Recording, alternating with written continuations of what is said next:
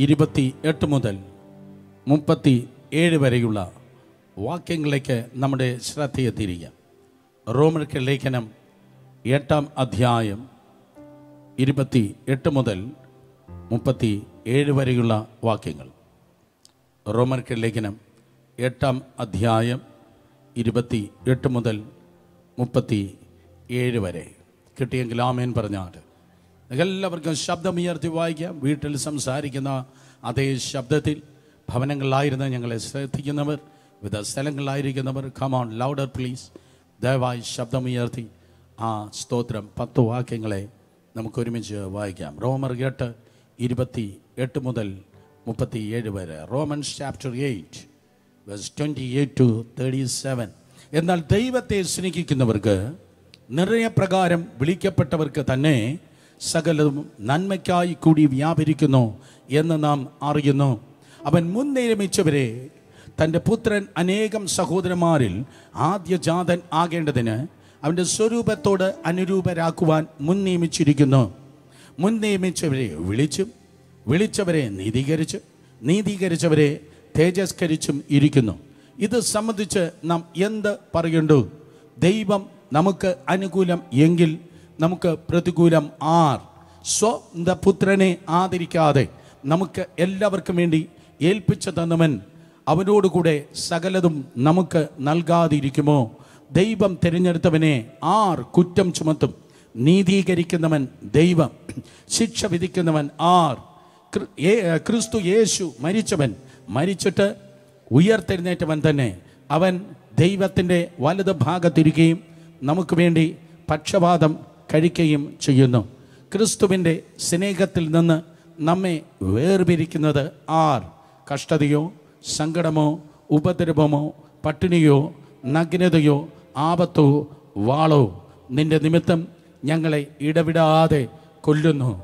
അറുപ്പാനുള്ള ആടുകളെപ്പോലെ ഞങ്ങളെ എണ്ണുന്നു എന്ന് എഴുതിയിരിക്കുന്നുവല്ലോ.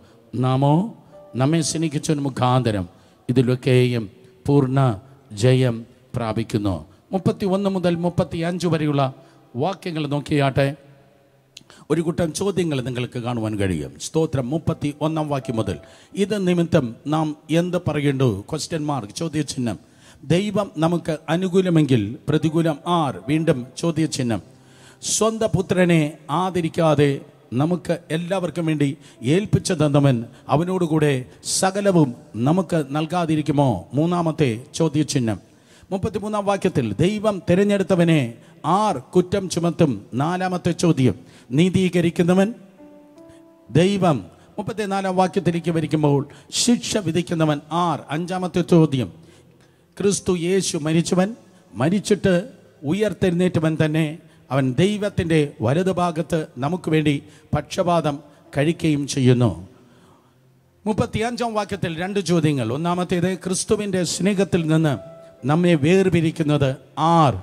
കഷ്ടതയോ സങ്കടമോ ഉപദ്രവമോ പട്ടിണിയോ നഗ്നതയോ ആപത്തോ വാളോ? സോ ടോട്ടൽ മുപ്പത്തി ഒന്ന് മുതൽ മുപ്പത്തി ആറ് വരെയുള്ള വാക്യങ്ങളിൽ ഏഴ് ചോദ്യങ്ങളാണ് നമുക്ക് കാണുവാൻ തക്കോണം കഴിയുന്നത്. ഏഴ് ചോദ്യങ്ങൾ. ഇന്ന് പകൽക്കാലം നാം കേൾക്കുന്നതായ ദൂതിന്റെ തലക്കെട്ട് ഇതാണ്. എത്ര ചോദ്യങ്ങൾ നിങ്ങൾക്ക് ചുറ്റും ഉണ്ടെങ്കിലും ഏക ഉത്തരം ക്രിസ്തു. എത്ര ചോദ്യങ്ങൾ നിങ്ങളുടെ മുൻപിൽ നിന്ന് പല്ലുവിളിക്കുന്നുവെങ്കിലും വെല്ലുവിളിക്കുന്നു എങ്കിലും ഏക ഉത്തരം ക്രിസ്തു. ക്രിസ്തു നമ്മുടെ ഏക ഉത്തരം. കർത്താവായ യേശു നമ്മുടെ ഏക ഉത്തരം. എന്റെ കയ്യിലിരിക്കുന്ന ഈ വിശുദ്ധ പുസ്തകം ചോദ്യങ്ങളുടെ പുസ്തകം അല്ല പകരം ദൈവത്തിന്റെ കൃപയാൽ അത് ഉത്തരങ്ങളുടെ പുസ്തകം അത്രേ. ഇതൊരു ചോദ്യ ചിഹ്നത്തിന്റെ കാലഘട്ടം അല്ലേ അല്ല. പകരം ദൈവകൃപയാൽ ആശ്ചര്യ ചിഹ്നത്തിന്റെ കാലഘട്ടമത്രേ ദൈവം നിങ്ങളെ ചോദ്യമായിട്ടല്ല ദൈവത്തിന്റെ കൃപയാൽ ആശ്ചര്യമായി ദൈവം നിങ്ങളെ വിളിച്ചിരിക്കുന്നു. ദൈവം ഉത്തരങ്ങളുടെ ദൈവം. ഒരിക്കൽ കൂടെ കരങ്ങൾ ഉയർത്തി ഹാലലൂയ പറഞ്ഞാട്. ഓരോ അധ്യായങ്ങൾക്ക് ഓരോ പുസ്തകങ്ങൾക്ക് വേദപുസ്തകത്തിൽ അതതിന്റെതായ ഇമ്പോർട്ടൻസ് ഉണ്ട്. സ്തോത്രം. ബൈബിളിൽ നിങ്ങൾ നോക്കുമ്പോൾ കർത്താവ് പല ചോദ്യങ്ങൾ ചോദിച്ചതായി കാണുവാൻ ഗുണ കഴിയുന്നു. ഉൽപ്പത്തി പുസ്തകം മൂന്നാം അധ്യായം ഒൻപതാം വാക്യത്തിൽ ഒന്നാമത്തെ ചോദ്യം കർത്താവ് ചോദിക്കുന്നു ആദാമേ നീ എവിടെ? അതോം വേർ ആർ യു സ്തോത്രം ആദമി നീ എവിടെ എന്നുള്ളത് ഒന്നാമത്തെ ചോദ്യമെങ്കിൽ അവസാനത്തെ ചോദ്യമായി ഉൽപ്പത്തി വെളിപ്പാട് പുസ്തകം പതിനെട്ടാം അധ്യായത്തിൽ ഒരു വലിയ നഗരത്തെക്കുറിച്ച് പറയുകയാണ്. ഐ ഡോ നോ അത് ലോസ് ഏഞ്ചലസ് ആണോ? അല്ല ന്യൂയോർക്കാണോ? ലണ്ടൻ ആണോ ടോക്കിയോ ആണോ നമുക്കറിയത്തില്ല. എന്നാൽ ആ മഹാനഗരത്തിന്റെ വീഴ്ച കണ്ടിട്ട് അവസാനത്തെ ചോദ്യമായി വെളിപ്പാട് പുസ്തകം പതിനെട്ടാം അധ്യായം പതിനേഴ് പതിനെട്ട് വാക്യത്തിൽ ആ പട്ടണത്തോട് ചോദിക്കുന്നതായ വലിയ ചോദ്യമുണ്ട്. ഒന്നാമത്തെ ചോദ്യം മനുഷ്യന്റെ വീഴ്ചയിൽ തുടങ്ങി. അവസാനമായി പാപം നിമിത്തം തകർന്നു പോയതായ ഒരു പട്ടണത്തിൽ അവസാനിക്കുമ്പോൾ ഇൻ ബിറ്റ്വീൻ നിങ്ങൾക്ക് കാണുവാൻ തക്കവണ്ണം കഴിക്കുന്നത് അത് ചോദ്യങ്ങളുടെ സമാഹാരമല്ല. വേദപുസ്തകത്തിൽ സ്തോത്രം ദൈവം ഒരുക്കിയിരിക്കുന്നതായ വിലയേറിയ ഉത്തരങ്ങൾ അത്രേ. പല ചോദ്യങ്ങൾ പല തകർച്ചകളിൽ നിന്ന് മനുഷ്യൻ ചോദിക്കുകയുണ്ടായി. ഇന്നലെയാണ് വേൾഡ് ട്രേഡ് സെന്റർ തകർക്കപ്പെട്ടതിന്റെ ഇരുപതാം വാർഷികമെന്ന് ലോകം മുഴുവൻ കുട്ടി ഘോഷിച്ചത്. ഇരുപത് വർഷങ്ങൾക്ക് മുമ്പ് സ്തോത്രം ട്വിൻ ടവേഴ്സ് എന്നറിയപ്പെടുന്നതായ അമേരിക്കയുടെ തലയെടുപ്പായ വേൾഡ് ട്രേഡ് സെന്ററിലേക്ക് തീവ്രവാദികൾ വിമാനങ്ങൾ ഇടിച്ചു കയറ്റി ഏകദേശം മൂവായിരത്തോളം അമേരിക്കക്കാർ കൊല്ലപ്പെടുകയുണ്ടായി. അനേകർ ചോദിച്ചു ഇത് മൂന്നാം ലോക മഹായുദ്ധത്തിന്റെ ആരംഭമാണോ? അനേകർ ചോദിച്ചു അമേരിക്കയുടെ ഭാവി എന്ത്? അനേകർ ചോദിച്ചു പല രാജ്യങ്ങളിലേക്ക് സ്തോത്രം യുദ്ധം വ്യാപിക്കുകയാണോ? എന്നിങ്ങനെ പല ചോദ്യങ്ങൾ സ്തോത്രം ഉയരുകയുണ്ടായി. ഈ ദിവസങ്ങളും പ്രിയ സഹോദരങ്ങളെ പലതരത്തിലുള്ള കീറാമുട്ടികൾ പോലെയുള്ളതായ പ്രശ്നങ്ങൾ മുൻപിൽ നിന്നും അതോടൊപ്പം പിൻപിൽ നിന്നും ഉയരുമ്പോൾ ജീവിതം ഇനിയുണ്ടോ എന്ന് ചോദിക്കുന്ന ആരെങ്കിലും ഉണ്ടെങ്കിൽ കർത്താവ് ചോദ്യങ്ങൾ നൽകി അതെ കൈയും കെട്ടി വെറുതെ ഇരിക്കുന്നവനല്ല. ദൈവം നിങ്ങളുടെ ജീവിതത്തിൽ അവൻ ഉത്തരം നൽകുന്നവനാണ്. സ്തോത്രം. നിങ്ങളുടെ ജീവിതത്തിൽ ചുറ്റും നോക്കുമ്പോൾ പലരുടെ ജീവിതത്തിൽ അത്ഭുതങ്ങൾ നിങ്ങൾ കണ്ടിട്ടുണ്ടായിരിക്കാം. എന്നാൽ ഞാൻ പറയട്ടെ അത്ഭുതങ്ങളും വിടുതലുകളും വീരപ്രവൃത്തികളും കാണുവാൻ ഇനിയും പുത്തിരിക്കണ്ട മൈതാനവും ചന്ദ്രശേഖരൻ നായർ സ്റ്റേഡിയവും അതേ കൊച്ചിയിലെ മെറൈൻ ഡ്രൈവും മറ്റ് ഗ്രൗണ്ടുകളിലേക്ക് ആയിരക്കണക്കിന് പതിനായിരക്കണക്കിന് ജനം സ്തോത്രം കൂടി വരേണ്ട കാര്യമില്ല. പകരം ദൈവകൃപയാൽ നിങ്ങളുടെ ജീവിതത്തിലേക്ക് ചോദ്യങ്ങൾ കടന്നു വന്നപ്പോൾ ദൈവം അത്ഭുതങ്ങളെ ചെയ്യുകയുണ്ടായി. നിങ്ങളുടെ ജീവിതത്തിലേക്ക് വെല്ലുവിളി കടന്നു വന്നപ്പോൾ ദൈവം നിങ്ങളുടെ ജീവിതത്തിൽ വിടുതലുകൾ അയച്ചു. അതുകൊണ്ട് സ്തോത്രം നിങ്ങളുടെ ജീവിതം തന്നെ നിങ്ങൾക്ക് ഒരു അത്ഭുതമാണ്. ഒരിക്കൽ കൂടെ നിങ്ങളുടെ ജീവിതം നിങ്ങൾക്ക് തന്നെ ഒരു അത്ഭുതമാണ്. സങ്കീർത്തനക്കാരൻ പറയുന്നു പലർക്കും ഞാൻ ഒരു അത്ഭുതമായിരിക്കുന്നു. എന്നെ കാണുന്ന പലർക്കും ഞാൻ ഒരു അത്ഭുതമാണ്. എന്നാൽ ഈ ദിവസം വളരെ താഴ്മയോടെ പറയട്ടെ പലർക്കും സ്തോത്രം പലർക്കും നിങ്ങളൊരു അത്ഭുതം മാത്രമല്ല നിങ്ങൾക്ക് നിങ്ങൾ ഒരു അത്ഭുതം ആയി തീർന്നിരിക്കുന്നു. നിങ്ങൾക്ക് നിങ്ങൾ തന്നെ ഒരു അത്ഭുതം എന്ന് പറയുന്നവർ കരങ്ങൾ ഉയർത്തി ഹാലലൂയ പറഞ്ഞാണ്. പലപ്പോഴും നീ വിചാരിച്ചതാണ് ഇതോടെ എന്റെ ജീവിതം അവസാനിച്ചു. പലപ്പോഴും നീ വിചാരിച്ചതാണ് ഇനി എനിക്ക് ശുശ്രൂഷിപ്പാൻ കഴിയുകയില്ല ഇനി എനിക്ക് പിടിച്ചു നിൽപ്പാൻ തക്കോണം കഴിയത്തില്ല. എന്നാൽ ആരുടെ മുൻപിലും തുറക്കാത്ത വാതിലുകളെ ദൈവമായ കർത്താവ് നിങ്ങളുടെ മുൻപിൽ തുറന്ന് ആരും നടക്കാത്ത പുതുവഴികളെ നിങ്ങളുടെ മുൻപിൽ അതേ സ്തോത്രം ദൈവം തുറന്ന് നൽകി. നൽപ്പും കെൽപ്പും നൽകി തന്ന് ദൈവം പരിപാലിച്ചുവെങ്കിൽ ഞാൻ ആവർത്തിക്കുന്നു നൽപ്പും കെൽപ്പും തന്ന് പിടിച്ചു നിൽക്കുവാൻ ദൈവം കൃപ നൽകി എങ്കിൽ ഹല്ലേലൂയ, ഒരു കൂട്ടം ചോദ്യങ്ങൾ നിങ്ങളുടെ മുൻപിൽ ഉണ്ട് എങ്കിൽ യേശുവിന്റെ നാമത്തിൽ ഇത് ചോദ്യങ്ങളുടെ സീസൺ അല്ല. പകരം ദൈവകൃപയാൽ ഉത്തരങ്ങളുടെ സ്വർഗീയ ഉത്തരങ്ങളുടെ ദൈവിക ഉത്തരങ്ങളുടെ സീസൺ അത്രേ. വിശ്വസിക്കുന്നവർ കരങ്ങളെ അടിച്ച് ദൈവത്തിന്റെ ജനം ദൈവത്തെ സ്തുതിച്ച്. അതുകൊണ്ട് ആരുടെ മുൻപിലും ചോദ്യചിഹ്നമായ തലയിൽ മുണ്ടുമിട്ട് കുനിഞ്ഞു നിൽക്കേണ്ട ദിവസങ്ങൾ അല്ല.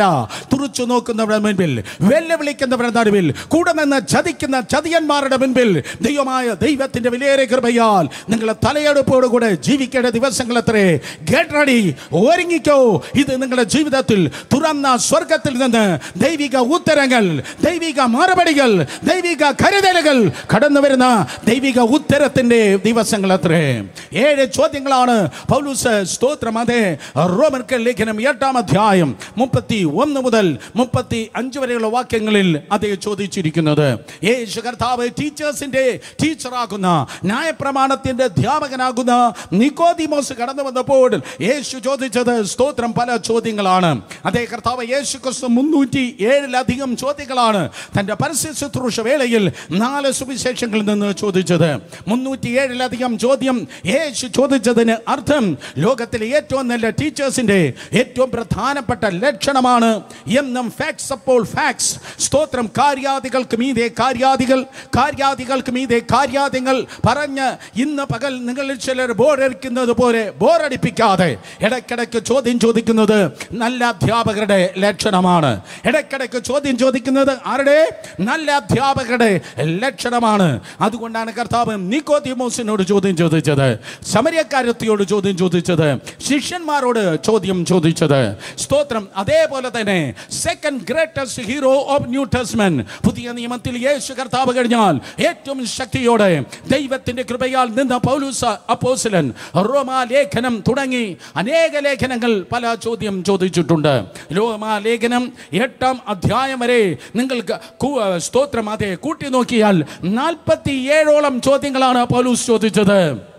റോമാലേഖനം ഒന്നാം അധ്യായം മുതൽ എട്ടാം അധ്യായം വരെ. ആ എട്ട് അധ്യായങ്ങൾ മാത്രം നാൽപ്പത്തി ഏഴോളം ചോദ്യങ്ങൾ മാത്രമാണ് ചോദിച്ചത്. ഞാൻ ആവർത്തിച്ചു പറയട്ടെ. ബൈബിൾ ഒരിക്കലും ചോദ്യം ചോദിച്ച് നിങ്ങളെ കുഴപ്പിക്കുന്ന പുസ്തകമല്ല. നിങ്ങൾ രക്ഷിക്കപ്പെട്ട് സ്നാനപ്പെട്ട് ആത്മനിറവിൽ ആരാധിച്ച് ദൈവകൃപയിൽ മുന്നേറുന്ന ഒരു വ്യക്തിയെങ്കിൽ നിന്നെ കുഴപ്പത്തിൽ ചാടിപ്പിച്ച് കുഴപ്പിപ്പാൻ ആർക്കും ഒരു ഭൂതത്തിനും ഒരിക്കലും കഴിയത്തില്ല. ദൈവം ആശ്ചര്യചിഹ്നങ്ങൾ അധികം മാത്രമേ ആ നാൽപ്പത്തി ഏഴ് ചോദ്യങ്ങളിൽ ഏഴ് ചോദ്യങ്ങളാണ്. മുപ്പത്തി ഒന്ന് മുപ്പത്തിരണ്ട് മുപ്പത്തിമൂന്ന് മുപ്പത്തിനാല് മുപ്പത്തിയഞ്ച് തുടങ്ങിയ അഞ്ച് വാക്യങ്ങളിൽ നിങ്ങൾക്ക് കാണുവാൻ കഴിയുന്നത്.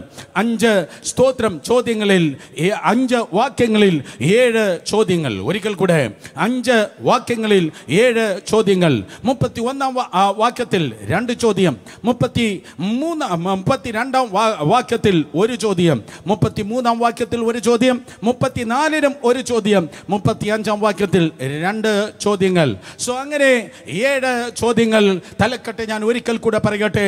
ഏക ഉത്തരം ക്രിസ്തു. വലത് കരങ്ങളെ ഉയർത്തി പറഞ്ഞാട്ടെ. ഏക ഉത്തരം ക്രിസ്തു. ഒരിക്കൽ കൂടെ ഏക ഉത്തരം ക്രിസ്തു. എന്റെ ഒരു ഭാവിയുണ്ടോ എന്നാരെങ്കിലും ചോദിക്കുന്നെങ്കിൽ ഏക ഉത്തരം ക്രിസ്തുവാണ്. അടുത്ത നാളുകളിൽ ഞാൻ നന്നാകുമോ എന്നാരെങ്കിലും ചോദിക്കുന്നെങ്കിൽ ഉത്തരം ക്രിസ്തുവിലാണ്. എന്റെ മക്കളുടെ ജീവിതം ഉത്തരം ക്രിസ്തുവിലാണ്. എന്റെ കുടുംബത്തിന്റെ അനുഭവം ഉത്തരം ക്രിസ്തുവാണ്. നിന്റെ ആരോഗ്യമണ്ഡലം ഉത്തരം ക്രിസ്തുവാണ്. മന്ത്രിസഭയിൽ നിന്നല്ല ഉത്തരം വരുന്നത്. ചിറ്റിക്കമ്പരിയിൽ നിന്നല്ല ഉത്തരം വരുന്നത്. ഏതോ മുതലാളിമാരിൽ നിന്നല്ല ഉത്തരം വരുന്നത്. തുറന്ന സ്വർഗത്തിൽ എന്നേക്കുമായി ഉയർത്തെഴുന്നേറ്റ് ജീവിക്കുന്ന കർത്താവിന്റെ കൃപയാൽ ഉത്തരം ദൈവിക ഉത്തരം നിങ്ങളെ തേടി വന്നുകൊണ്ട് ഇരിക്കുന്നു.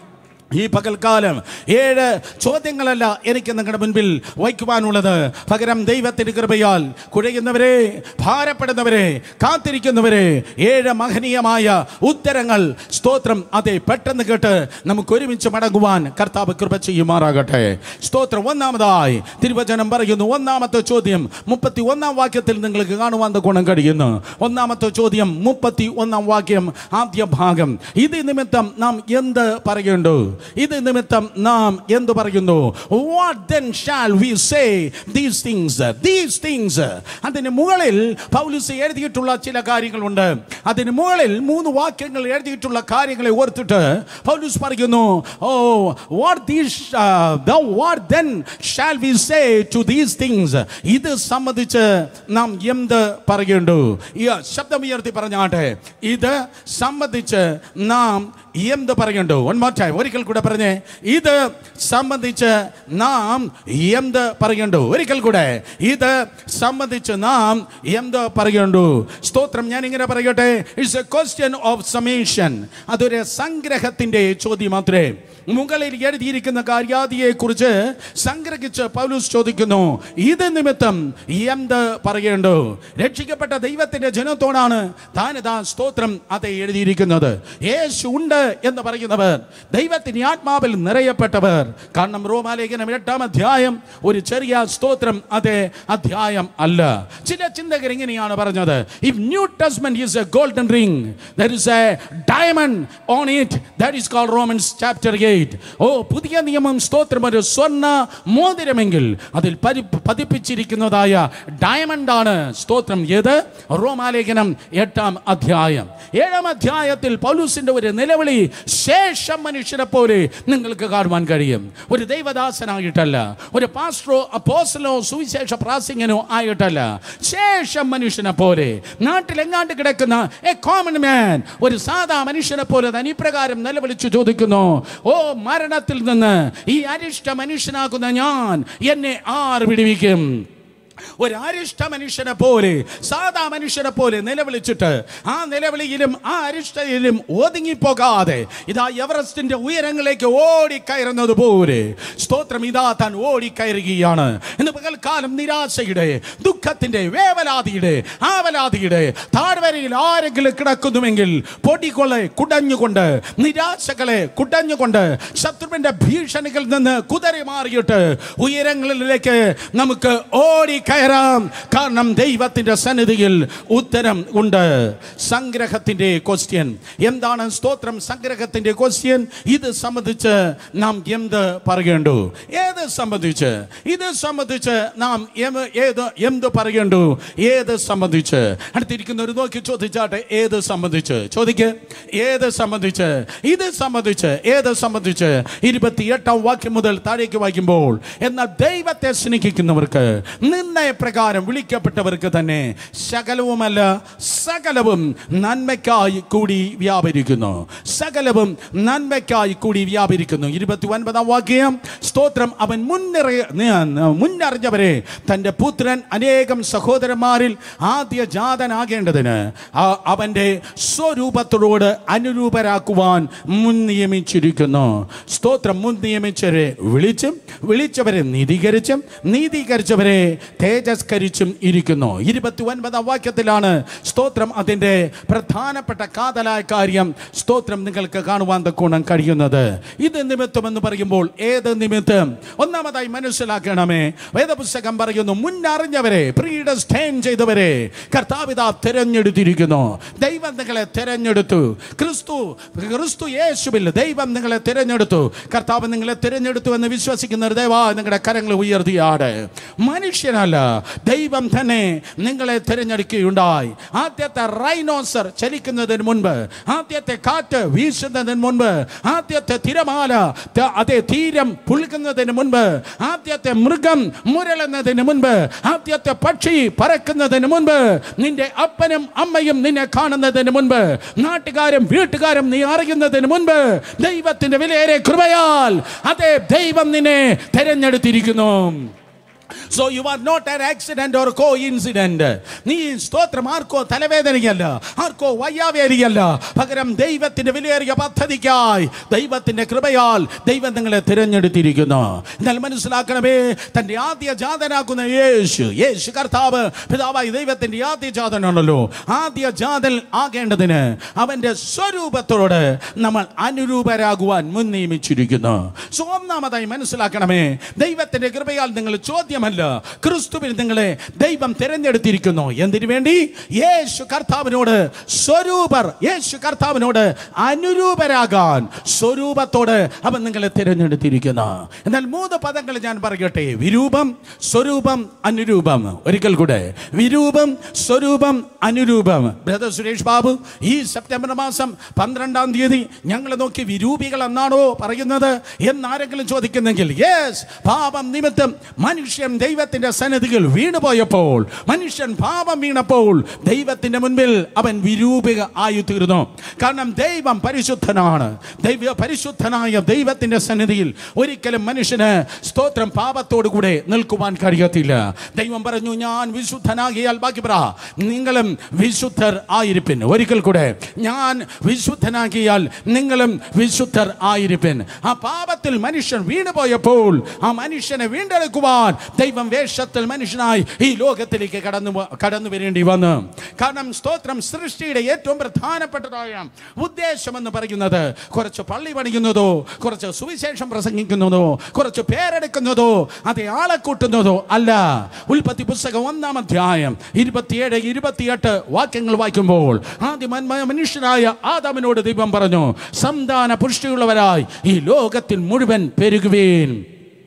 സന്താനപുഷ്ടിയുള്ളവരായി ഈ ലോകത്തിൽ മുഴുവൻ പെരുകുവൻ. അർത്ഥം ദൈവം കണ്ടത് ഒരു ഹോളി നേഷനാണ് ഒരു ഹോളി സൊസൈറ്റിയാണ് ഒരു പരിശുദ്ധ സമൂഹത്തെയാണ് ദൈവം കണ്ടത്. ലോകത്തെ മുഴുവൻ ഭരിക്കുന്നതായ ലോകത്തെ മുഴുവൻ നിറഞ്ഞിരിക്കുന്നതായ ദൈവിക പദ്ധതിയെ ഭൂമിയിൽ വെളിപ്പെടുത്തുന്നതായ ഒരു വിശുദ്ധ സമൂഹത്തെയാണ് ദൈവം കണ്ടത്. എന്നാൽ പങ്കിരമായി ദൈവത്തിന്റെ പദ്ധതിയെ പിശാച സ്തോത്രം അതെ തകർക്കുകയുണ്ടായി. എന്നാൽ സ്തോത്രം ആ പാപത്തിൽ സാത്താൻ എന്ന മനുഷ്യനെ തകർത്ത് കളഞ്ഞപ്പോൾ ആ പാപത്തിൽ വീണുപോയതായ മനുഷ്യനെ രക്ഷിപ്പാൻ വേഷത്തിൽ മനുഷ്യനായി തന്നെ ആദ്യജാതനായ യേശു കടന്നു വന്നു ആദ്യജാതനായ യേശു. ഇങ്ങനെ പറയട്ടെ നിങ്ങളുടെ ജ്യേഷ്ഠ സഹോദരനാകുന്ന യേശു. സഭയുടെ ആ ജ്യേഷ്ഠ സഹോദരനാകുന്ന യേശു. ഏതോ കൊരങ്ങന്റെ രൂപത്തിലോ ആമയുടെ രൂപത്തിലോ തവള രൂപത്തിലോ പക്ഷി രൂപത്തിലോ മൃഗരൂപത്തിലോ അല്ല വന്നത്. മക്കൾ ജഡരക്തങ്ങളോട് കൂടെ ഉള്ളവരാകൊണ്ട് അവനും മനുഷ്യ രൂപത്തിൽ തന്നെ ഈ ലോകത്തിൽ കടന്നു വരികയുണ്ടായി.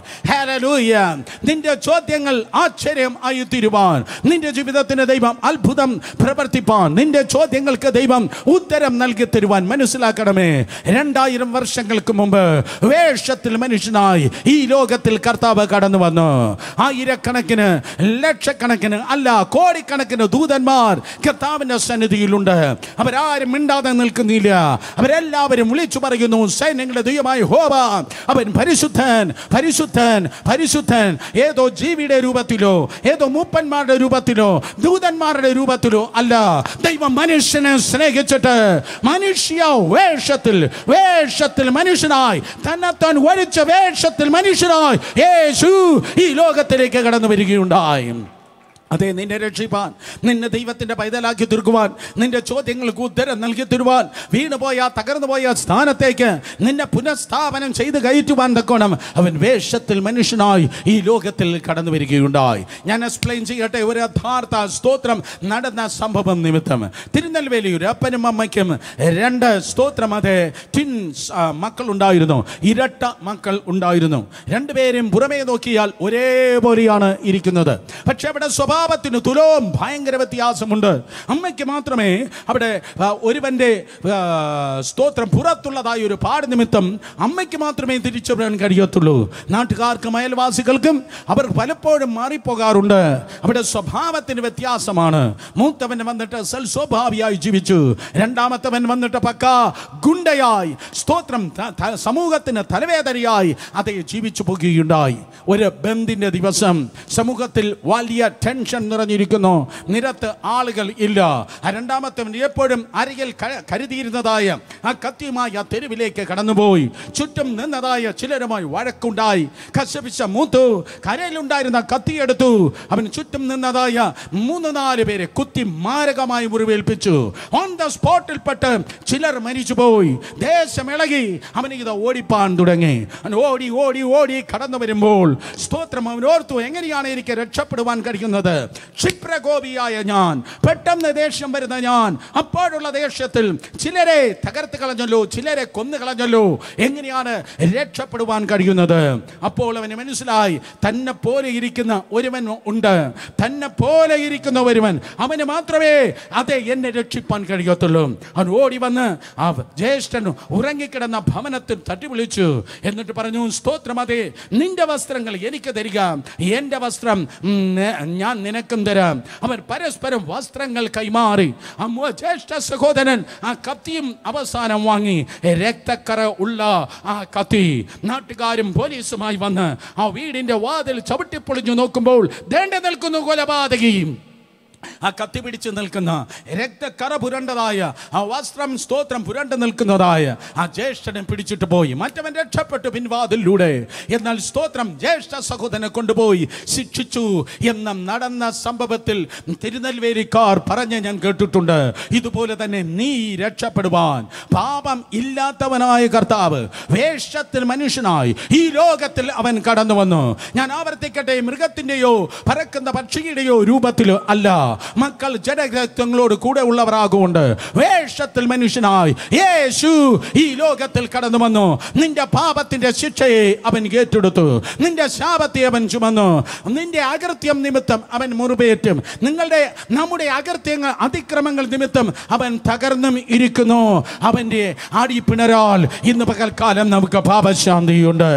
അതുകൊണ്ട് പ്രിയ സഹോദരി സഹോദരന്മാരെ ഓ അവനോട് കൂടെ നമ്മൾ അവന്റെ സ്വരൂപത്തോട് അനുരൂപമാക്കുവാൻ അവൻ നമ്മെ മുൻ നിയമിച്ചിരിക്കുന്നു. സംഗ്രഹ ചോദ്യം എന്ന് പറയുന്നത് അവന്റെ സ്വരൂപത്തോട് നമ്മൾ അനുരൂപരാകുവാൻ. അതുകൊണ്ട് കൃപയാൽ അവൻ നിങ്ങളെ രക്ഷിക്കുകയുണ്ടായി. One ഓഫ് ഈ ദിവസങ്ങളൊന്ന് കാഹളം ധ്വനിക്കും മരിച്ചവർ രക്ഷയാരായി ഉയർക്കും. കർത്താവിന്റെ സിംഹാസനത്തിന് മുൻപിൽ നിങ്ങളെ ഞാനും നിൽക്കും. കത്തോലിക്ക രൂപത്തിലല്ല ഓർത്തഡോക്സിന്റെയോ മാർത്തോമയുടെ രൂപത്തിലല്ല പെന്തിക്കോസിന്റെയോ ന്യൂ ജനറേഷന്റെയോ രൂപത്തിലല്ല. സെയിം ആസ് ജീസസ് യേശു കർത്താവിനെ പോലെ യേശു കർത്താവിനെ പോലെ കമാൻ യേശു കർത്താവിനെ പോലെ ദൈവത്തിന്റെ ജന അവന്റെ സന്നിധിയിൽ ദൈവകൃപയാൽ നിൽക്കുവാൻ വേണ്ടി പോകുന്നു. അതുകൊണ്ട് സ്തോത്രം മനസ്സിലാക്കണമേ. അതേ കൃപയാൽ അവൻ നമ്മെ രക്ഷിക്കുന്നു. അപ്പോൾ പ്രവൃത്തി നാലിന്റെ പന്ത്രണ്ട് പറയുന്നു മറ്റൊരുത്തിന്റെ രക്ഷയില്ല. നാം രക്ഷിക്കപ്പെടുവാൻ ആകാശത്തിന് കീഴിൽ മനുഷ്യരിൽ നൽകപ്പെട്ട ഏകനാമം നസ്രേന യേശുവിന്റെ നാമം അത്രേ നാൽപ്പത്തി മൂന്ന് പതിനൊന്ന് പറയുന്നു there is no other savior besides me. സ്തോത്രം ഞാനല്ലാതെ വേറൊരു രക്ഷകൻ ഇല്ലല്ലോ. ഞാനല്ലാതെ വേറൊരു രക്ഷകൻ ഇല്ലല്ലോ. ഒരു കോഴി രക്തം കൊണ്ട് ഒരു ആടി രക്തം കൊണ്ട് ഒരു മനുഷ്യ രക്തം കൊണ്ട് ഒരു രക്തസാക്ഷി മന്ദിരം കൊണ്ട് നീ രക്ഷിക്കപ്പെടുന്നതേ ഇല്ല. എന്നാൽ രണ്ടായിരം വർഷങ്ങൾക്ക് മുമ്പ് പാപമില്ലാത്തതായ രക്തം പരിശുദ്ധമായ രക്തം കാൽവരി ക്രൂശിന്മേൽ കർത്താവ് യേശു നമുക്ക് വേണ്ടി ഒരുക്കിയുണ്ടായി. യോഗനാൻ സുവിശേഷം പത്തൊൻപതാം അധ്യായം മുപ്പത്തിനാലാം വാക്ക്. വേദപുസ്തകം പറയുന്നു ആ ക്രൂരനായ പടയാളിയാകുന്നതായ റോമാ പടയാളി കടന്നുവെന്ന് യേശുവിന്റെ വിലാപ്പുറം കുത്തി തുളയ്ക്കുമ്പോൾ അവസാനത്തുള്ളി രക്തവും പുറത്തേക്കൊഴുകി. അവസാനത്തുള്ളി രക്തവും പുറത്തേക്കൊഴുകിയത് ഇന്ന് എന്റെ ജീവിതത്തിന്റെ നിന്റെ ജീവിതത്തിന്റെ അവസാനത്തെ പാപവും മാറ്റപ്പെട്ടിട്ട് അവസാനത്തെ പാപവും മാറിപ്പോയിട്ട് അവനോടുകൂടെ സ്വരൂപപ്പെട്ട് നാം അനുരൂപർ ആയി തീരുവാൻ യേശു ക്രൂശിന്മേൽ നമുക്ക് വേണ്ടി മരിക്കുകയുണ്ടായി. അതാണ് നിന്റെ ജീവിതത്തിന്റെ സംഗ്രഹം.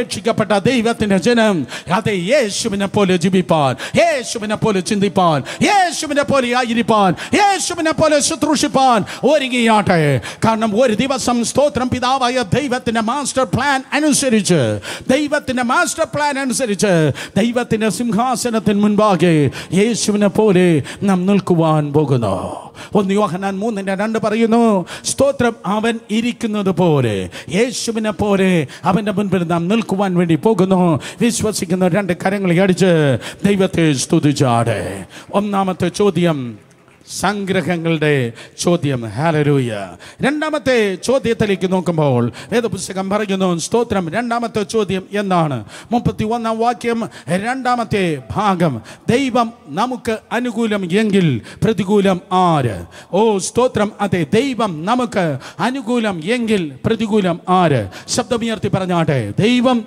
നമുക്ക് അനുകൂലം എങ്കിൽ പ്രതികൂലം ആര്? അതൊരു ജയത്തിന്റെ ചോദ്യമാണ്. അതൊരു ജയത്തിന്റെ ചോദ്യമാണ് രക്ഷിക്കപ്പെട്ട കർത്താവിന്റെ കൃപയിൽ കടന്നു വന്നു എങ്കിൽ പിന്നെ ദൈവത്തിന്റെ ഹിതത്തിൽ ഈ പുസ്തകം അനുസരിച്ച് വചനപ്രകാരം നിങ്ങൾ ജീവിച്ചു കഴിഞ്ഞാൽ നിങ്ങളുടെ ജീവിതം ഒരിക്കലും പരാജയത്തിന്റെ ജീവിതം അല്ല പകരം ആത്മീയ ജീവിതം അത് ജയത്തിന്റെ ജീവിതമാണ്. എത്ര പേർ അനുഭവിക്കുന്നു? എത്ര പേര് വിശ്വസിക്കുന്നു? എത്ര പേർ അനുഭവിച്ചിട്ടുണ്ട്? ആത്മീയ ജീവിതം പരാജയത്തിന്റെ ജീവിതമല്ല. ആത്മീയ ജീവിതം ജയത്തിന്റെ ജീവിതമാണ്. ആത്മീയ ജീവിതത്തിൽ വെല്ലുവിളികൾ കടന്നു വരാം. ആത്മീയ ജീവിതത്തിൽ തിരമാലകളും കൊടുങ്കാറ്റുകളും ഉണ്ട്. ആത്മീയ ജീവിതത്തിൽ തീയും വെള്ളവുമുണ്ട് ആത്മീയ ജീവിതത്തിൽ പ്രതിസന്ധികളും സ്തോത്രം പ്രശ്നങ്ങളുമുണ്ട് പക്ഷേ നൂറ് ശതമാനം ദൈവത്തിന്റെ വചനപ്രകാരം അനുസരിച്ച് ദൈവത്തിന്റെ ആത്മാവിനെ നിയന്ത്രിക്കാതെ ദൈവത്തിന്റെ ആത്മാവിനാൽ നിയന്ത്രിക്കപ്പെട്ട് ജീവിക്കുമ്പോൾ ആ ജീവിതം പരാജയത്തിന്റെ ജീവിതമല്ല അത് ജയത്തിന്റെ ജീവിതം. കാരണം വചനപ്രകാരം നീ ഞാനും ജീവിക്കുമ്പോൾ സ്തോത്രം ദൈവം നിനക്ക് അനുകൂലമാണ്. പരിശുദ്ധാത്മാവിൽ നീ ജീവിക്കുമ്പോൾ ദൈവത്തിന് അനുസൃതമായി ദൈവഹിതത്തിലാണ് നീ ജീവിക്കുന്നത്. അപ്പോൾ അവണ്ണം നീ ആയിരിക്കുമ്പോൾ ദൈവം നിനക്ക് അനുകൂലമാണ്. ദൈവം നിനക്ക് അനുകൂലമാണെങ്കിൽ ദൈവം നിനക്ക് അനുകൂലമാണെങ്കിൽ ഞാൻ മൂന്നാമത് ഒരിക്കൽ കൂടെ ആവർത്തിക്കട്ടെ. ദൈവം നിനക്ക് അനുകൂലമാണെങ്കിൽ നാട്ടുകാർക്കും അടുത്തുള്ളവനും അടുത്തുള്ളവനും അകന്നു പാർക്കുന്നവനും വരുന്ന നാശം തകർച്ച പ്രതിസന്ധി നിന്നെ തൊടുകയില്ല. നിന്നെ തൊടുകയില്ല. ആ പ്രതിസന്ധി ഒരുപക്ഷെ നീ കാണും. ആ പ്രതിസന്ധി നിന്നെ കാണും. ആ പ്രതിസന്ധിയെ നീ കാണും. ആ പ്രതിസന്ധി ചിലപ്പോൾ നിന്നെ കാണും. പക്ഷേ അവയ്ക്ക് നിന്നെ തൊടുവാൻ കഴിയത്തേ ഇല്ല. സ്തോത്രം വേദപുസ്തകം പറയുന്നു ആയിരക്കണക്കിന് വർഷങ്ങൾക്ക് മുമ്പ് സ്വസ്ഥത അഥവാ റസ്റ്റ് എന്ന് പേരുള്ള ഒരു മനുഷ്യൻ ഉണ്ടായിരുന്നു സ്വസ്ഥത റസ്റ്റ് അവന്റെ പേരാണ് നോഹ. സ്തോത്രം ലക്ഷോപ ലക്ഷം ജനം അക്കാലത്ത് വലിയ ജലപ്രവാ പ്രളയത്തിൽപ്പെട്ട് നശിച്ചു പോയി. ഓ ആ പട്ടകത്തിന് അടുത്ത് കിടന്നവനും നശിച്ചു അകന്ന് കിടന്നവനും നശിച്ചു. ആ പെട്ടകത്തിന്റെ വാതിക്കൽ നിന്ന് അഞ്ചടി മാറി മാറിക്കിടന്നവനും നശിച്ചു. അഞ്ച് കിലോമീറ്റർ അപ്പുറത്ത് കിടന്നവനും നശിച്ചു. രണ്ടേ രണ്ട് കാര്യം മാത്രമാണ് എനിക്ക് പറവാനുള്ളത് ഒന്നുകിൽ ഒന്നാമത് പെട്ടകത്തിന് നീ അകത്തായിരിക്കും. ഇല്ലെങ്കിൽ പെട്ടകത്തിന് പുറത്തായിരിക്കും.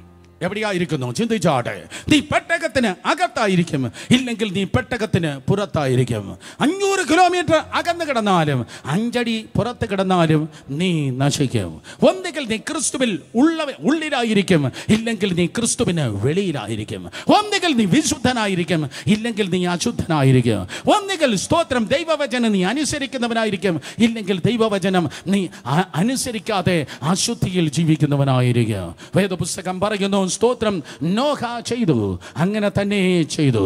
ആ പെട്ടകം നോഹ നിർമ്മിക്കുമ്പോൾ തോന്നിയതുപോലെയല്ല ചെയ്തത്. നാട്ടുകാർ പറഞ്ഞതുപോലെയല്ല ചെയ്തത്. ദൈവം പറഞ്ഞതുപോലെ തന്നെ തൻ ദൈവത്തിന്റെ കൃപയാൽ ചെയ്യുകയുണ്ടായി. മറ്റുള്ളവർ നശിക്കുന്നത് ഒരു പക്ഷേ ആ കിളിവാതിലൂടെ സ്തോത്രം അതെ നോഹ നോക്കി കണ്ടു കാണും. മറ്റുള്ളവരുടെ നിലവിളി ശബ്ദം നോഹയുടെ കുടുംബക്കാർ കേട്ട് കാണും. പക്ഷേ മറ്റുള്ളവരുടെ നാശം അവനെ തൊട്ടതേ ഇല്ല. ഇന്ന് പകൽക്കാലം ഞാൻ പറയട്ടെ കർത്താവിൽ നിനക്കൊരു സെക്യൂരിറ്റി ഉണ്ട്. മറ്റുള്ളവർക്ക് ഉള്ളതായ ചോദ്യങ്ങൾ കണ്ട് അയ്യോ അതുപോലെ എനിക്ക് വരുമോ? ആ നാശം എനിക്ക് വരുമോ? എന്ന് പറയുന്നെങ്കിൽ സ്തോത്രം യേശുവിന്റെ നാമത്തിൽ ആ പ്രശ്നം നീ കാണും. പക്ഷേ ആ പ്രശ്നം നിന്നെ തൊടുകയേ ഇല്ല.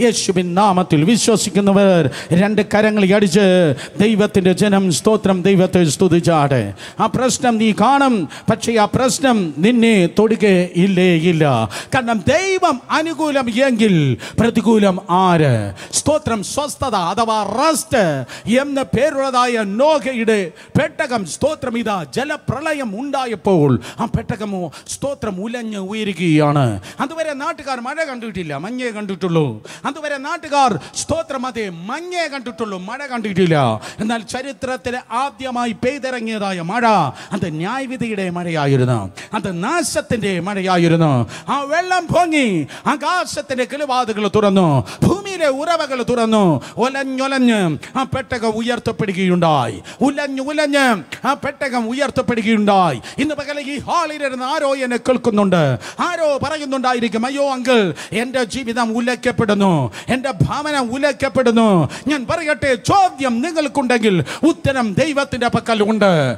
നിങ്ങൾ ഉലയ്ക്കപ്പെടുന്നു എങ്കിൽ നിങ്ങൾ ഉലയ്ക്കപ്പെടുന്നുവെങ്കിൽ ഉടഞ്ഞ താഴെ പോകുവാൻ അല്ലേ അല്ല. നിങ്ങൾ ഉലയ്ക്കപ്പെടുന്നു എങ്കിൽ നശിക്കാൻ അല്ല. അരരാത്തു പർവതത്തിന്റെ ഉയരങ്ങളിൽ അരരാത്തു പർവതത്തിന്റെ ഉയരങ്ങളിൽ ഉലഞ്ഞു ഉലഞ്ഞു പോയതായ ആ പെട്ടകം ഉറക്കുകയുണ്ടായി. യേശുവിന്റെ നാമത്തിൽ അകത്തും പുറത്തും ഉലച്ചിലുകൾ ഉണ്ട് എങ്കിൽ കമാൻ അല അകത്തും പുറത്തും ഉലച്ചിലുകൾ നിങ്ങൾക്കുണ്ട് എങ്കിൽ ഇതുവരെ ഉയർന്നിട്ടില്ലാത്ത തലങ്ങളിൽ നിങ്ങൾ ഉയരുവാൻ പോകുന്നു. ഇതുവരെ ഉറച്ചിട്ടില്ലാത്ത ക്രമത്തിൽ ദൈവത്തിന് കൃപയാൽ നിങ്ങൾ ഉറയ്ക്കുവാൻ പോകുന്നു. കൈയടിക്ക് നിങ്ങൾ നേരെ കരങ്ങളടിച്ച് ദൈവത്തിന്റെ ജനം ദൈവത്തെ സ്തുതിച്ചേ. ഇത് ഉടയുന്ന സീസൺ അല്ല. സ്തോത്രം ഇത് ഉയരുന്ന സീസണാണ് ഇത് ഉലയ്ക്ക ഇത് ഉറയ്ക്കുന്ന സീസണാണ് എവിടെയും എത്താതെ ഈ ദിവസങ്ങളിൽ സ്തോത്രം അലഞ്ഞു നടക്കുന്ന ആരെങ്കിലും ഉണ്ടെങ്കിൽ കോഴ്സ് കഴിഞ്ഞു. ഒരിടത്തും ഉറച്ചിട്ടില്ല. അതേ സ്തോത്രം കോഴ്സ് പാസ്സായി സർട്ടിഫിക്കറ്റ് കിട്ടി. ഒരിടത്തും ഉറച്ചിട്ടില്ല. പലത് പ്രതീക്ഷിച്ചു. അപ്പോഴാണ് കൊറോണ വന്നത്. ഒരിടത്തും ഉറച്ചിട്ടില്ല. ലക്ഷ്യമില്ലാതെ സ്തോത്രം ഒഴുകി നടക്കുന്ന ആരെങ്കിലും ഉണ്ടെങ്കിൽ ലക്ഷ്യമില്ലാതെ ഒഴുകി നടക്കുന്ന ആരെങ്കിലും ഉണ്ടെങ്കിൽ ഉണ്ടെങ്കിൽ ഇൻ ജീസസ് നെയിം സ്തോത്രം. അതെ ഞാൻ എവിടെ എവിടെ പോകും? ഞാൻ എന്തായി തീരും എന്റെ ഭാവി എന്താകും എന്ന് ചോദിക്കുന്ന നിനക്ക് സ്വർഗത്തിൽ നിന്നൊരു പ്രൊഫറ്റിക് ആൻസർ സ്വർഗത്തിൽ നിന്നൊരു പ്രവചന ഉത്തരം ഇന്ന് പകൽക്കാലം ദൈവം നൽകി തരികയാണ്. ഇതുവരെ ഉയർ ഉറച്ചിട്ടില്ലാത്ത സ്ഥാനത്ത് ഇതുവരെ ഉയർ ഉറച്ചിട്ടില്ലാത്ത ഉയരങ്ങളിൽ ദൈവം നിന്നെ ഉറപ്പിപ്പാൻ വേണ്ടി പോകുന്നു. അതുകൊണ്ട് ദൈവം അനുകൂലമെങ്കിൽ പ്രതികൂലം ആര്? രക്ഷിക്കപ്പെട്ട ദൈവത്തിന്റെ കൃപയിലായിരിക്കുന്നു. ലോകം നിനക്ക് എതിരായിരിക്കാം. സ്തോത്രം പക്ഷേ ദൈവം നിനക്ക് അനുകൂലമാണ്. ലോകത്തിലുള്ള എല്ലാവരും നിനക്ക് അനുകൂലമായിരിക്കാം. ഒരു കൊഞ്ഞു പോലും നിനക്ക് അനുകൂലമാകാതെ എല്ലാവരും നിനക്ക് പ്രതികൂലമായിരിക്കാം. ലോകക്കാർ എല്ലാം നിനക്ക് പ്രതികൂലമാണെങ്കിലും ഈ പ്ലാനറ്റ് ഉയർത്തിയിൽ ഈ ഭൂമിയിൽ നീ മാത്രം ഒറ്റയ്ക്കാണെങ്കിലും നീ മാത്രം ഒറ്റയ്ക്കാണെങ്കിലും ഞാൻ ആവർത്തിക്കട്ടെ നീ മാത്രം ഒറ്റയ്ക്കാണെങ്കിലും നിന്റെ അടുക്കൽ അനുകൂലമായി ദൈവം ഇറങ്ങി നിന്നാൽ ജയം നിന്റേത് തന്നെയാണ്. സ്തോത്രം നിന്റെ അടുക്കൽ ദൈവം ഇറങ്ങുന്നതിനാൽ ജയം നിന്റെത് തന്നെയാണ്. കാരണം സ്തോത്രം ഭക്തന്മാർക്ക് ദൈവം അനുകൂലമായി കൂടെ ഇറങ്ങിയുണ്ടായി. അപ്പുറത്ത് വലിയ പ്രശ്നങ്ങളുണ്ടെങ്കിൽ ഇപ്പുറത്ത് ജയം തരുന്ന ഒരു ദൈവമുണ്ട്. അപ്പുറത്ത് ഒരു കൂട്ടം വെല്ലുവിളികളുണ്ടെങ്കിൽ ഇപ്പുറത്ത് നിന്നോട് കൂടെ ഇരുന്ന് നിന്നെ ജയത്തിലേക്ക് കൈപിടിച്ച് നടത്തുന്ന ഒരു ദൈവമുണ്ട്. വർഷങ്ങളായി ഞാൻ ഇങ്ങനെ പറയും. അപ്പുറത്തൊരു ഫറവോനുണ്ടെങ്കിൽ ഇപ്പുറത്ത് അവനെ ജയിപ്പിക്കുന്ന ഒരു മോശയുണ്ട് അപ്പുറത്ത് ഫറവോനുണ്ടെങ്കിൽ ഇപ്പുറത്ത് ജയം പ്രാപിച്ച ഒരു മോശയുണ്ട്. അപ്പുറത്തൊരു ആഹാബ് ഉണ്ടെങ്കിൽ അവനെ മിണ്ടാതാക്കുന്ന ഒരു ഏരിയാവ് ഇപ്പുറത്തുണ്ട്. അപ്പുറത്തൊരു ബാങ്കുണ്ടെങ്കിൽ അവന്റെ സൈന്യത്തെ ഓടിച്ചു കളയുന്ന സ്തോത്രം ഒരു എലിശ ഇപ്പുറത്തുണ്ട്. അപ്പുറത്തൊരു ഇസബേൽ ഉണ്ടെങ്കിൽ ഇപ്പുറത്തൊരു ഏഹു ഉണ്ട്. അപ്പുറത്തൊരു ഹെരോദാവ് ഉണ്ടെങ്കിൽ സ്തോത്രം ഇപ്പുറത്ത് ഒരു യോഹന്നാൻ സ്നാപകനുണ്ട്. അപ്പുറത്തൊരു അഗ്രിപ്പ രാജാവുണ്ടെങ്കിൽ ഇപ്പുറത്തൊരു പൗലൂസ് അപ്പോസലുണ്ട്. അപ്പുറത്ത് തല തകർന്ന ലൂസിഫർ ഉണ്ടെങ്കിൽ ഇപ്പുറത്ത് മരിച്ചവരുടെ ഇടയിൽ നിന്ന് ഉയർത്തെഴുന്നേറ്റ് ജീവിക്കുന്ന യഹൂദ ഗോത്രത്തിലെ സിംഹമാക്കുന്ന യേശു ഉണ്ട്. നീ ജയിച്ചവരുടെ കൂട്ടത്തിലാണ്. തോൽവി നിനക്കുള്ളതല്ല. ജയം ജയം എന്നും ജയം എപ്പോഴും ജയം. നമ്മുടെ കർത്താവ് യേശു ക്രിസ്തു മുഖാന്തരം നമുക്ക് ജയം നൽകുന്ന ദൈവത്തിന് സ്തോത്ര.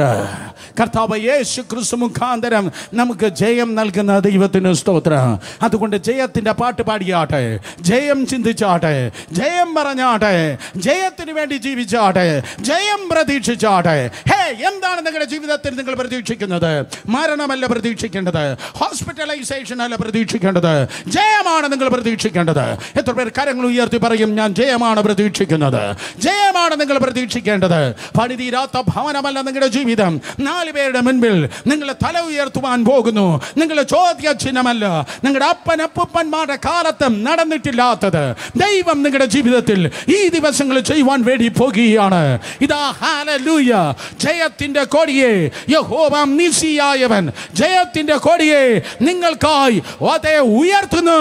ഇൻ ജീസസ് നെയിം ചോദ്യങ്ങൾ ഉത്തരങ്ങളായി തീരട്ടെ. പല ചോദ്യങ്ങൾ ലോകത്തിലുണ്ടെങ്കിൽ ഏക ഉത്തരം ക്രിസ്തുപത്രേ രണ്ട് കരങ്ങളെ അടിച്ച് വിശ്വസിക്കുന്ന ഒരു ദൈവത്തെ സ്തുതിച്ചേ. ഹാലലൂയ. വേദപുസ്തകം പറയുന്നു സ്തോത്രം മൂന്നാമത്തെ ചോദ്യം. അത് കരുതലിന്റെ ചോദ്യമാണ്. ഒന്ന് സംഗ്രഹത്തിന്റെ ചോദ്യമെങ്കിൽ it's a question of summation രണ്ടാമത്തെ ചോദ്യം it's a question of overcoming അതൊരു ജയത്തിന്റെ ചോദ്യമെങ്കിൽ. മൂന്നാമത്തെ ചോദ്യം it's a question of provision അതൊരു കരുതലിന്റെ ചോദ്യമാണ്. മുപ്പത്തി രണ്ടാം വാക്യം വായിക്കുമ്പോൾ സ്വന്തം പുത്രനെ ആദരിക്കാതെ നമുക്കെല്ലാവർക്കും വേണ്ടി ഏൽപ്പിച്ചു തന്നവൻ അവനോടുകൂടെ സകലവും നമുക്ക് നൽകാതെ ഇരിക്കുമോ? സ്വന്തം പുത്രനെ ആദരിക്കാതെ നമുക്ക് എല്ലാവർക്കും വേണ്ടി ഏൽപ്പിച്ചു തന്നവൻ അവനോട് കൂടെ അവനോട് കൂടെ സകലവും നമുക്ക് നൽകാതെ ഇരിക്കുമോ? ഏറ്റവും വലിയ കരുതലിനെ കുറിച്ച് പൗലൂസ് പറയുകയാണ്. ഏറ്റവും വലിയ കരുതൽ എന്ന് പറയുന്നത് നിന്റെ കാറല്ല നിന്റെ വീടല്ല നിന്റെ പുരയിടമല്ല നിന്റെ എഡ്യൂക്കേഷൻ സ്തോത്രം അതെ നിന്റെ എഡ്യൂക്കേഷൻ അല്ല ഡിഗ്രി അല്ല നിന്റെ ജോലിയല്ല ഏറ്റവും വലിയ സ്തോത്രം കരുതൽ എന്ന് പറയുന്നത് കർത്താവ് നിനക്ക് സ്വന്തം പുത്രനാകുന്ന യേശുവിനെ നൽകിയുണ്ടായി യേശുവിനെ ദൈവം നിനക്ക് നൽകി. എത്ര പേർ കരങ്ങൾ ഉയർത്തി അതിനായി നന്ദി പറയും. കാൽവരിക്കായി സ്തോത്രം പറഞ്ഞാട്ടെ. കാൽവരി ക്രൂസിന്മേൽ ദ ഓഫ് ഹെവൻ ക്രൂസിഫൈ സ്തോത്രം ക്രൂസിൽ അതെ സ്വർഗത്തിലെ ഏറ്റവും മനോഹരനെ ദൈവമായ കർത്താവ് നമുക്ക് വേണ്ടി നൽകി. കരങ്ങൾ ഉയർത്തി ഹാലലൂയ പറഞ്ഞാട്ടെ. കോടാനുകോടി ദൂതന്മാരുണ്ടെന്ന് ഞാൻ പറഞ്ഞല്ലോ. ആ ദൂതന്മാരുള്ള അല്ല ദൈവം നിനക്ക് വേണ്ടി തന്നത്. ഇരുപത്തിനാല് മൂർപ്പന്മാർ ദൈവത്തിന്റെ സന്നിധിയിൽ സ്തോത്രം ഇരിക്കുന്നതായി വെളിപ്പാട് പുസ്തകത്തിൽ കാണുന്നു. പുതിയ നിയമത്തിൽ നിന്ന് പന്ത്രണ്ട് പഴയ നിയമത്തിൽ നിന്ന് പന്ത്രണ്ട്. ആ പന്ത്രണ്ട് ആ ഇരുപത്തിനാല് മൂപ്പന്മാരിൽ ഒരുവനെയല്ല ദൈവം നിനക്ക് വേണ്ടി തന്നത്. നാല് ജീവികൾ ദൈവത്തിന്റെ സന്നിധിയിലുണ്ട്. ആ നാല് ജീവികളിൽ ഒരുവനെയല്ല ദൈവം നിനക്ക് വേണ്ടി തന്നത്. പകരം വേദപുസ്തകം പറയുന്നു മറ്റ് ആരെക്കാളും അതുല്യനായ അവനെ പോലെ മറ്റൊരുവൻ ഇല്ല. അവനെ പോലെ വേറെ ഒരുവനില്ല അങ്ങനെയുള്ള ആ യേശുവിനെ സ്വന്തം പുത്രനെയാണ് അവൻ നിനക്ക് വേണ്ടി തന്നത്. ഏറ്റവും വലിയ പ്രൊവിഷൻ എന്ന് പറയുന്നത് പിതാവായ ദൈവം സ്തോത്രം ലോകത്തിന് വേണ്ടി നൽകിയത് കർത്താവായ യേശുവിനെ അവൻ നമുക്ക് വേണ്ടി നൽകി. എന്നാൽ മനസ്സിലാക്കണമേ ലോകത്തെ സ്നേഹിച്ചാണ് കർത്താവ് ഈ ലോകത്തിലേക്ക് കടന്നു വന്നത്. എന്നാൽ തൊണ്ണൂറ് ശതമാനം ക്രിസ്ത്യാനികൾ പറയും എല്ലാവർക്കും വേണ്ടി കർത്താവ് മരിച്ചു. നോ എല്ലാവർക്കും വേണ്ടി യേശു മരിച്ചു എങ്കിലും ആ മരണത്തിന്റെ ബെനിഫിറ്റ് ലഭിച്ചത് യേശുവിന്റെ മരണത്തിന്റെ നന്മ ലഭിച്ചത് എല്ലാവരുമല്ല. ഇന്ന് ഈ സമയത്തും വേശ്യാഗ്രഹത്തിലും പബ്ബിലും ബാറിലും ഇരിക്കുന്നവർ യേശുവിന്റെ മരണത്തിന്റെ ബെനിഫിറ്റ് അനുഭവിച്ചില്ല. എന്നാൽ അവന്റെ ക്രൂശിലെ മരണത്തെ വിശ്വസിച്ച് ഏൽപ്പിച്ചവരാണ് യേശു മരണത്തിന്റെ ബെനിഫിറ്റ് അനുഭവിച്ചത്. ഹാലലൂയ കാലാകാലങ്ങളിൽ കർത്താവ് യേശുവിന്റെ മരണത്തിന്റെ നന്മ അനുഭവിച്ച് അവനിൽ ജീവിപ്പാൻ ദൈവം നമുക്ക് നൽകിയതായ ഭാഗ്യത്തിനായ സ്തോത്രം. ഞാൻ ആവർത്തിക്കേണ്ട നിങ്ങളുടെ ഏറ്റവും വലിയ പ്രൊവിഷൻ എന്ന് പറയുന്നത് നിങ്ങളുടെ ഏറ്റവും വലിയ ദൈവിക ദാനം നിങ്ങൾ അനുഭവിച്ചത് കർത്താവായ യേശു യേശുവിന് യാത്രേ സ്തോത്രം ഏറ്റവും വലിയ ദാനം എന്ന് പറയുന്നത് പിതാവായ ദൈവത്തെ സംബന്ധിച്ച് ഏറ്റവും വലിയ വിലയേറിയ കോസ്റ്റ്ലി ആയിരുന്നു. ഏറ്റവും വലിയ വിലയായിരുന്നു. ഏറ്റവും വലിയ വിലയായിരുന്നു. നിന്നെ വീണ്ടെടുപ്പാനായി ദൈവമായ കർത്താവ് വലിയൊരു വിലയാണ് നൽകിയത്. ഒരിക്കൽ കൂടെ നിന്നെ വീണ്ടെടുപ്പാനായി നിന്നെ ദൈവത്തിന്റെ പൈതലാക്കുവാൻ ദൈവം വലിയൊരു മുതൽ മുടക്കാണ് നൽകിയത്. ഒരു ഭയങ്കര മുതൽ മുടക്കാണ് നൽകിയത്. പഴയ നിയമത്തിൽ ഒരത്ഭുതത്തിനും ദൈവത്തിന് ഒരു മുതൽ മുടക്കം ഉണ്ടായിരുന്നില്ല. അബ്രാമിന് ദൈവത്തിന് അബ്രഹാമാക്കാൻ ഒരു മുതൽ മുടക്കം ഉണ്ടായില്ല. അബ്രഹാമിന് ഒരു സന്തതിയെ കൊടുപ്പാൻ ദൈവത്തിന് ഒരു മുതൽ മുടക്കം ഉണ്ടായില്ല. ഹിസ്കിയാവിന്റെ കാലത്ത് ഒരു ദൂതനെ ഇറക്കി സ്തോത്രം ഒരു ലക്ഷത്തി എൺപത്തി അയ്യായിരം എണ്ണത്തിനെ വെട്ടിയിടുവാൻ ദൈവത്തിന് വലിയ ചെലവൊന്നും ഉണ്ടായിരുന്നില്ല. ഒരു ദൂതൻ ഇറങ്ങിയാൽ മാത്രം മതിയായിരുന്നു. യാക്കോബിനെ ഇസ്രായേലാക്കാൻ ദൈവത്തിന് വലിയ മുടക്ക് ഒന്നുമില്ലായിരുന്നു. ഇയോബിനെ നഷ്ടപ്പെട്ട അവസ്ഥയിൽ നിന്ന് ഇരട്ടിയായി തിരികെ നൽകി സ്തോത്രം റിസ്റ്ററേഷൻ കൊടുക്കാൻ ഇരട്ടി അളവിൽ അവനെ നന്മകളാൽ നിറപ്പാൻ ദൈവത്തിന് വലിയ മുതൽ മുടക്ക് ഉണ്ടായിരുന്നില്ല.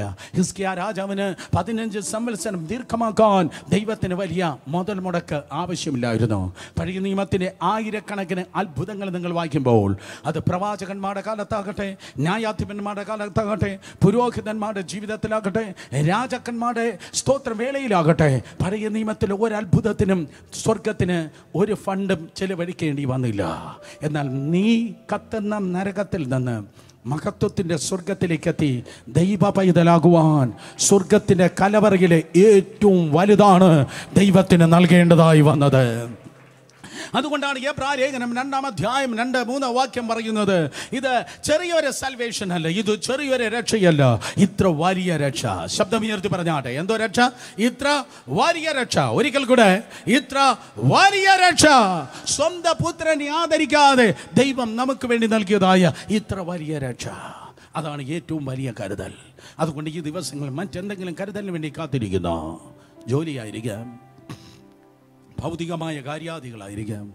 മറ്റേതെങ്കിലും സ്തോത്രം ഭൗതിക നന്മകളായിരിക്കാം. സഹോദരങ്ങളെ ആത്മാവിന്റെ വീണ്ടെടുപ്പായ ഏറ്റവും വലിയ കാര്യം ദൈവം ചെയ്തു എങ്കിൽ ഈ ചെറിയ കാര്യം എത്രയധികമായി ദൈവത്തിന്റെ കൃപയാൽ ദൈവത്തിന് ചെയ്യുവാൻ ഗുണം കഴിയുക ആത്മാവിന്റെ വീണ്ടെടുപ്പായ. വലിയ കാര്യം ദൈവം ചെയ്തെങ്കിൽ ഹേ നിങ്ങളുടെ ശരീരത്തിനും നിങ്ങളുടെ മനസ്സിനും നിങ്ങളുടെ തലമുറയ്ക്കും നിന്റെ ഭൗതികത്തിനും ആവശ്യമുള്ളത് എത്രയധികമായി ദൈവത്തിന് ചെയ്യുവാൻ തക്കണം കഴിയുക കാരണം അവൻ അവൻ കൈയടിച്ച് ചിരിക്കുന്നതികമല്ല അവൻ കൈ ഒഴിയുന്നതികമല്ല ഞാൻ ഇങ്ങനെ പറയട്ടെ? അവൻ കൈ ഒഴിയുന്നതികമല്ല അവൻ കരുതലിന്റെ ദൈവമാണ് അടുത്തിരിക്കുന്നവർ നോക്കി പറഞ്ഞാട്ടെ ദൈവം കൈ ഒഴിയത്തില്ല. പെട്ടെന്ന് പറഞ്ഞേ ദൈവം കൈ ഒഴിയത്തില്ല ദൈവം കൈ ഒഴിയത്തില്ല പകരം അവൻ നിങ്ങൾക്കായി കരുതാം. വലത് കരങ്ങൾ ഉയർത്തി പറഞ്ഞാട്ടെ എനിക്ക് വേണ്ടി എന്റെ ദൈവം കരുതം. ഒരിക്കൽ കൂടെ എനിക്ക് വേണ്ടി എന്റെ ദൈവം കരുതം. യെസ് ദൈവം നിനക്കായി നിനക്കായി അത്ഭുതകരമായി ദൈവം കരുതുവാൻ വേണ്ടി പോകുന്നു.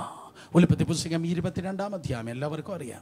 ഉൽപ്പത്തി പുസ്തകം ഇരുപത്തിരണ്ടാം അധ്യായം ജൂനിയർ വിശ്വാസിയാകുന്ന ഇസ്ഹാക്ക്. സീനിയർ വിശ്വാസിയാകുന്ന അബ്രഹാമിന്റെ കൂടെ തലയിൽ വിറകമായി ആ മോര്യ മല കയറുകയാണ്. ജൂനിയർ വിശ്വാസിയാകുന്ന ഇസഹാക്ക് ആ മല കയറുമ്പോൾ സീനിയർ വിശ്വാസിയാകുന്നതായ അബ്രഹാമിനോട് ഒരു ചോദ്യം ചോദിക്കുന്നുണ്ട്. അപ്പ കത്തിയുണ്ട് വിറകുണ്ട് യാഗമൃഗം എന്തിയെ അവർ ഇറങ്ങി വന്നിട്ട് മൂന്ന് ദിവസമായി. അവർ ഇറങ്ങി വന്നിട്ട് മൂന്ന് ദിവസമായിട്ടും അപ്പോഴും തീയുണ്ട് അത് കെട്ടുപോയില്ല. ഈ കൊറോണയുടെ കാറ്റിലും എന്റെ തീ കെട്ടുപോയില്ല എന്ന് പറയുന്നവർ ദയവാ നിങ്ങളുടെ വലത് കരങ്ങളെ ഉയർത്തിയാട്ടെ. ഈ കൊറോണയുടെ കാലത്തും സ്തോത്രം. അതെ നിന്റെ നിന്റെ നിന്റെ തീ കെട്ടുപോകാതെ സൂക്ഷിച്ച ദൈവത്തിന് സ്തോത്രം. കരങ്ങൾ ഉയർത്തി ഹാലരുയ ബൈബിൾ പറയുന്നു സ്തോത്രം അതെ. കർത്താവ് സ്തോത്രം. ഇതാ കർത്താവ് ഇതാ അബ്രഹാമിന്റെ സന്ധിതിയാകുന്ന ഈസഹാക്ക് ആ തീ കെട്ടുപോകാതെ അവരിതാ മല കയറുകയാണ്. ചോദിക്കുന്നു അപ്പാ കത്തിയുണ്ട് വിറകുണ്ട്. ഈ യാഗമൃഗം എന്തിയെ സീനിയർ വിശ്വാസിയാകുന്നതായ അബ്രഹാം ജൂനിയർ വിശ്വാസിയാകുന്നതായ ഇസഹാക്കിനോട് ഈ പ്രകാരം പറയുന്നു ദ ലോഡ് വിൽ പ്രൊവൈഡ് കർത്താവ് കരുതിക്കൊള്ളാം. കർത്താവ് കരുതിക്കൊള്ളും. ചെറിയവൻ ചോദിച്ച ചോദ്യത്തിന് മുൻപിൽ വലിയവൻ അപ്പൻ പറയുന്നു ദൈവം കരുതിക്കൊള്ള.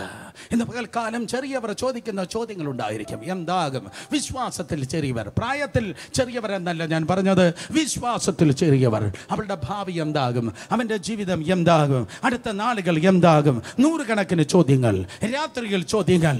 പകൽ ചോദ്യങ്ങൾ. നൂറുകണക്കിന് ചോദ്യങ്ങൾ. നൂറുകണക്കിന് ചോദ്യങ്ങൾ. ജീവിതം എന്താകും? എന്നാൽ സ്തോത്രം ഭൂമിയിൽ നിന്ന് ചോദ്യം കടന്നു വരുമ്പോൾ വിശ്വാസത്തിൽ മുതിർന്നവർ പ്രവചിച്ചു പറയട്ടെ വിശ്വാസത്തിൽ പറയട്ടെ നന്മകളായി പറയട്ടെ എന്റെ ദൈവത്തിന്റെ കലവറ എനിക്കായി തുറന്നിട്ടുണ്ട്.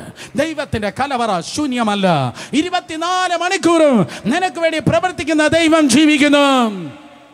സ്തോത്രം ദൈവം നിനക്കായി കരുതുന്നു. ദൈവം നിനക്കായി കരുതുന്നു. സ്തോത്രം അബ്രഹാം പറഞ്ഞു ദൈവം തനിക്ക് ഹോമയാഗത്തിനു വേണ്ടി ഒരു ആട്ടിൻ കുട്ടിയെ കരുതിക്കൊള്ളും. സ്തോത്രം the God will provide himself the lamb for a burnt offering ഒരു ആട്ടിൻ കുട്ടിയെ ദൈവം കരുതിക്കൊള്ളും. ഒരു ആട്ടിൻ കുട്ടിയെ പറഞ്ഞാട്ടെ എന്താണ് അബ്രഹാം പറഞ്ഞത്?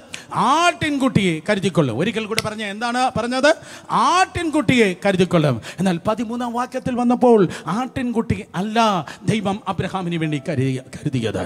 സ്തോത്രം ഏഴാം വാക്യത്തിൽ അബ്രഹാം പറഞ്ഞത് ആട്ടിൻകുട്ടിയെ കരുതിക്കൊള്ളും. എന്നാൽ പതിമൂന്നാം വാക്യത്തിൽ ആട്ടിൻകുട്ടി അല്ലേ അല്ല.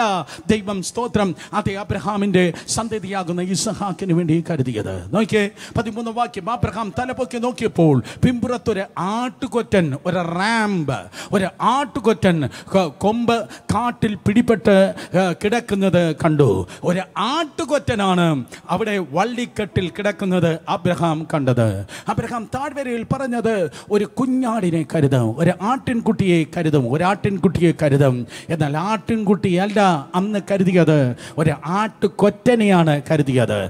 God will provide a lamb ദൈവം സ്തോത്രം ഒരു കുഞ്ഞാടിനെ കരുതും എന്നാണ് പറഞ്ഞത്. പക്ഷെ ഒരു ആട്ടുകൊറ്റനെയാണ് ദൈവം കരുതിയത്. നിങ്ങൾ ചോദിക്കും ബ്രദർ സുരേഷ് ബാബു അന്ന് വിശ്വാസികളെ പിതാവായ അബ്രഹാം പറഞ്ഞതായ ആ കുഞ്ഞാട് എവിടെ പോയി? ആട്ടുകൊറ്റൻ സ്തോത്രം ഇസഹാക്കിന് പകരം യാഗമായി. എന്നാൽ ആ കുഞ്ഞാടിനെ ദൈവമായി കർത്താവ് എനിക്കും നിനക്ക് വേണ്ടി മാറ്റി നിർത്തി. തണുത്ത യോർദാന്റെ വെള്ളത്തിൽ നിന്ന് യോഗനാൻ ശ്രാപകൻ വിളിച്ചു പറഞ്ഞു ഇതാ ലോകത്തിന്റെ പാപത്തെ ചുമക്കുന്ന ദൈവത്തിന്റെ കുഞ്ഞാട്. ഇതാ ലോകത്തിന്റെ പാപത്തും ചുമക്കുന്ന ദൈവത്തിന്റെ കുഞ്ഞാട്. പഴയ നിയമത്തിൽ ജീവിച്ചിരുന്നതായി ഇസഹാക്കിന് ലഭിച്ചത്. സ്തോത്രം അതേ ഒരു ആട്ടുകൊറ്റനായിരുന്നുവെങ്കിൽ പുതിയ നിയമത്തിൽ ജീവിക്കുന്ന നിനക്ക് ദൈവം നൽകുന്നത് സ്തോത്രം നിന്റെ വീണ്ടെടുപ്പിന് വേണ്ടി ഒരു കുഞ്ഞാടിനെയാണ്. ആ വലിയ കരുതൽ ദൈവം തന്നുപോയെങ്കിൽ പ്രിയ സഹോദരങ്ങളെ ഇന്ന് പകൽക്കാലം നിന്റെ ജപ്തി നോട്ടീസ് ആകട്ടെ മറ്റേതെങ്കിലും കാര്യാദികളാകട്ടെ. സ്തോത്രം ദൈവം നിനക്കായി കരുതുന്നവനാണ്. നിന്റെ കരുതൽ വന്നുകൊണ്ട് ഇരിക്കുന്നു. ഒരത്ഭുതം വന്നുകൊണ്ട് ഇരിക്കുന്നു. ആ കെട്ടി നിൽക്കുന്ന വെള്ളം പോലെ ഓഫീസിൽ പിടിച്ചിട്ടിരിക്കുന്ന ഫയലുകൾ യേശുവിന്റെ നാമത്തിൽ മുന്നോട്ട് നീങ്ങട്ടെ.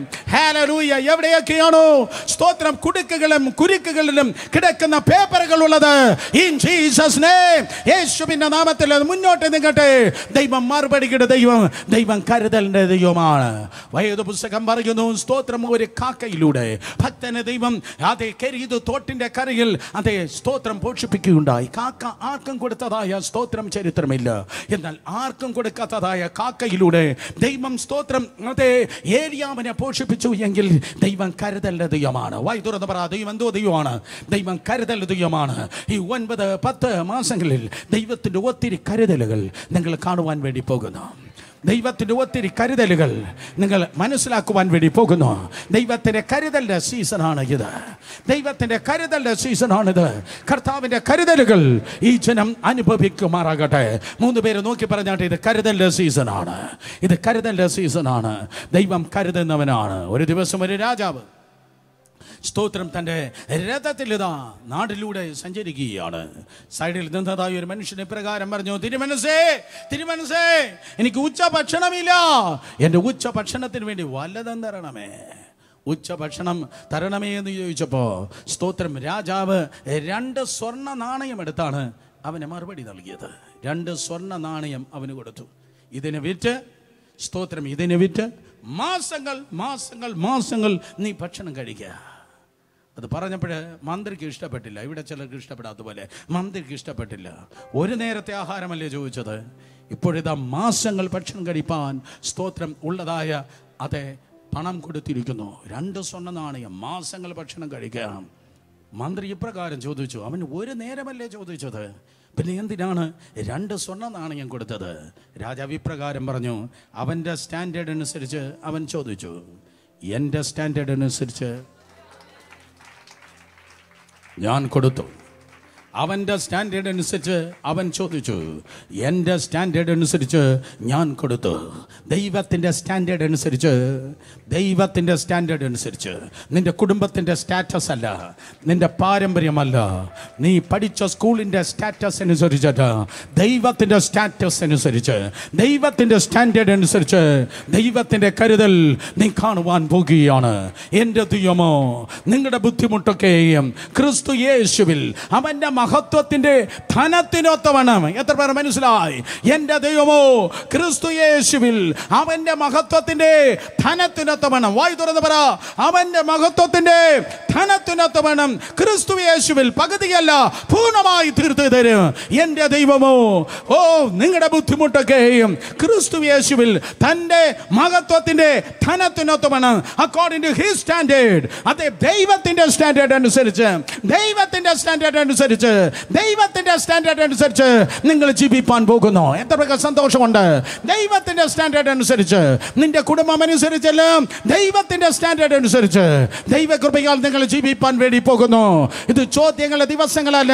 ആശ്ചര്യ ചിഹ്നങ്ങൾ നിങ്ങൾക്കായി. ആശ്ചര്യ ചിഹ്നങ്ങൾ ദൈവം കരുതിയിട്ടുണ്ട്. ആരും അറിയാത്ത ശ്രേഷ്ഠ ഭോജനം. മരുഭൂമിയിലെ തേന് മട്ടൂറിയ വീഞ്ഞ് നട്ടുണ്ടാക്കാത്തതായ തോട്ടം. ഓ നീ കുടിച്ചിട്ടില്ലാത്ത കിണറ് നീ പണിതിട്ടില്ലാത്ത വീട്. ഇൻ ജീസസ് നെയിം ഇത് കരുതലിന്റെ സീസൺ അത്രേ. സ്വന്തം പുത്രനെ ആദരിക്കാതെ നിനക്ക് വേണ്ടി നൽകിയവനായ ദൈവ നിനക്കും നിന്റെ സന്താനങ്ങൾക്ക് വേണ്ടി നിനക്കും നിന്റെ സന്താനങ്ങൾക്ക് വേണ്ടി ദൈവത്തിന്റെ കരുതൽ നൽകുന്ന സീസൺ അത്രേ. കരങ്ങളെ അടിച്ച് ആർപ്പിട്ട്.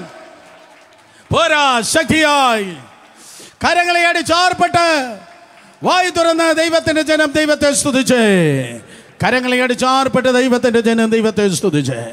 Hallelujah. സ്തോത്രമേ ക്വസ്റ്റ്യൻ ഓഫ് സമേഷൻ ഓ സംഗ്രഹത്തിന്റെ ചോദ്യം. രണ്ടാമത് ജയത്തിന്റെ ചോദ്യം. മൂന്നാമത് കരുതലിന്റെ ചോദ്യം. നാലാമത് പ്രോസിക്യൂഷൻ ക്വസ്റ്റ്യൻ കുറ്റാരോപണത്തിന്റെ ചോദ്യം. കുറ്റാരോപണത്തിന്റെ ചോദ്യം. നാലാമത്തെ ചോദ്യം മുപ്പത്തിരണ്ടാം വാക്യം. കുറ്റാരോപണത്തിന്റെ ചോദ്യം. നാലാമത്തെ ചോദ്യം മുപ്പത്തി രണ്ടാം വാക്യം വേദപുസ്തകം പറയുന്നു. കുറ്റാരോപണത്തിന്റെ ചോദ്യം. ദൈവം തെരഞ്ഞെടുത്തവനെ. മുപ്പത്തിമൂന്നാം വാക്യം. ദൈവം തിരഞ്ഞെടുത്തവനെ. ആർ കുറ്റം ചുമത്ത്? ദൈവം തിരഞ്ഞെടുത്തവനെ ആർ കുറ്റം ചുമത്ത്? ദൈവം തിരഞ്ഞെടുത്തവനെ ആർ കുറ്റം ചുമത്ത്? ദൈവം എന്നെ തിരഞ്ഞെടുത്ത എത്ര പേർക്ക് വിശ്വാസമുണ്ട്. കമോൺ ദൈവം നിങ്ങളെ തിരഞ്ഞെടുത്തു. നിങ്ങളെ ശുശ്രൂഷയ്ക്ക് വേണ്ടി നിന്നെ സ്നാനത്തിന് വേണ്ടി നിന്നെ ആത്മാഭിഷേകത്തിന് വേണ്ടി ദൈവിക നിയോഗങ്ങൾക്ക് വേണ്ടി ദൈവം നിങ്ങളെ തിരഞ്ഞെടുത്തു. പുസ്തകം എഴുതാൻ ദൈവം നിങ്ങളെ തിരഞ്ഞെടുത്തു. സാക്ഷ്യം പറവാൻ ദൈവം നിങ്ങളെ തിരഞ്ഞെടുത്തു. പ്രവചിപ്പാൻ ദൈവം നിങ്ങളെ തിരഞ്ഞെടുത്തു. അന്യഭാഷ പറഞ്ഞ് വ്യാഖ്യാനിപ്പാനായി വിവേചിപ്പാനായി ജ്വലിപ്പാനായി കൃപാവരങ്ങളിൽ ജ്വലിപ്പാനായി ആത്മാക്കളെ നേടാനായി ഭൂതങ്ങളെ പുറത്താക്കാനായി മന്ത്രവാദിയുടെ പണി നഷ്ടപ്പെടാനായി. Okay okay. ദൈവത്തിന്റെ വലിയ പ്രവർത്തിക്കായി ദൈവം നിന്നെ തിരഞ്ഞെടുത്തു.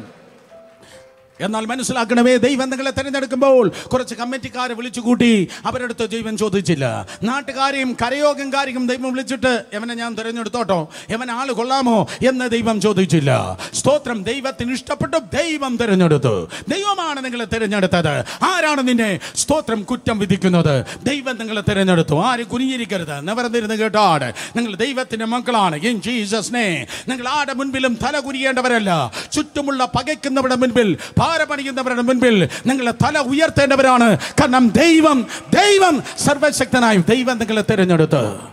ദൈവത്തിന്റെ സെലക്ഷനാണ് നീ. ഇന്ന് പകൽക്കാലം ഞാൻ കാണുന്നത് ദൈവത്തിന്റെ സെലക്ഷന്റെ റിസൾട്ട് ആണ്. ഒരിക്കൽ കൂടെ ദൈവത്തിന്റെ സെലക്ഷന്റെ റിസൾട്ട് ആണ്. അല്ലാതെ മനുഷ്യന്റെ എലക്ഷന്റെ റിസൾട്ട് അല്ല. സ്തോത്രം അതെ എലക്ഷൻസ് അറബിക്കടലിൽ മുങ്ങിപ്പോകട്ടെ. സെലക്ഷൻ സ്തോത്രം ദൈവകൃപയാൽ വെളിപ്പെടട്ടെ.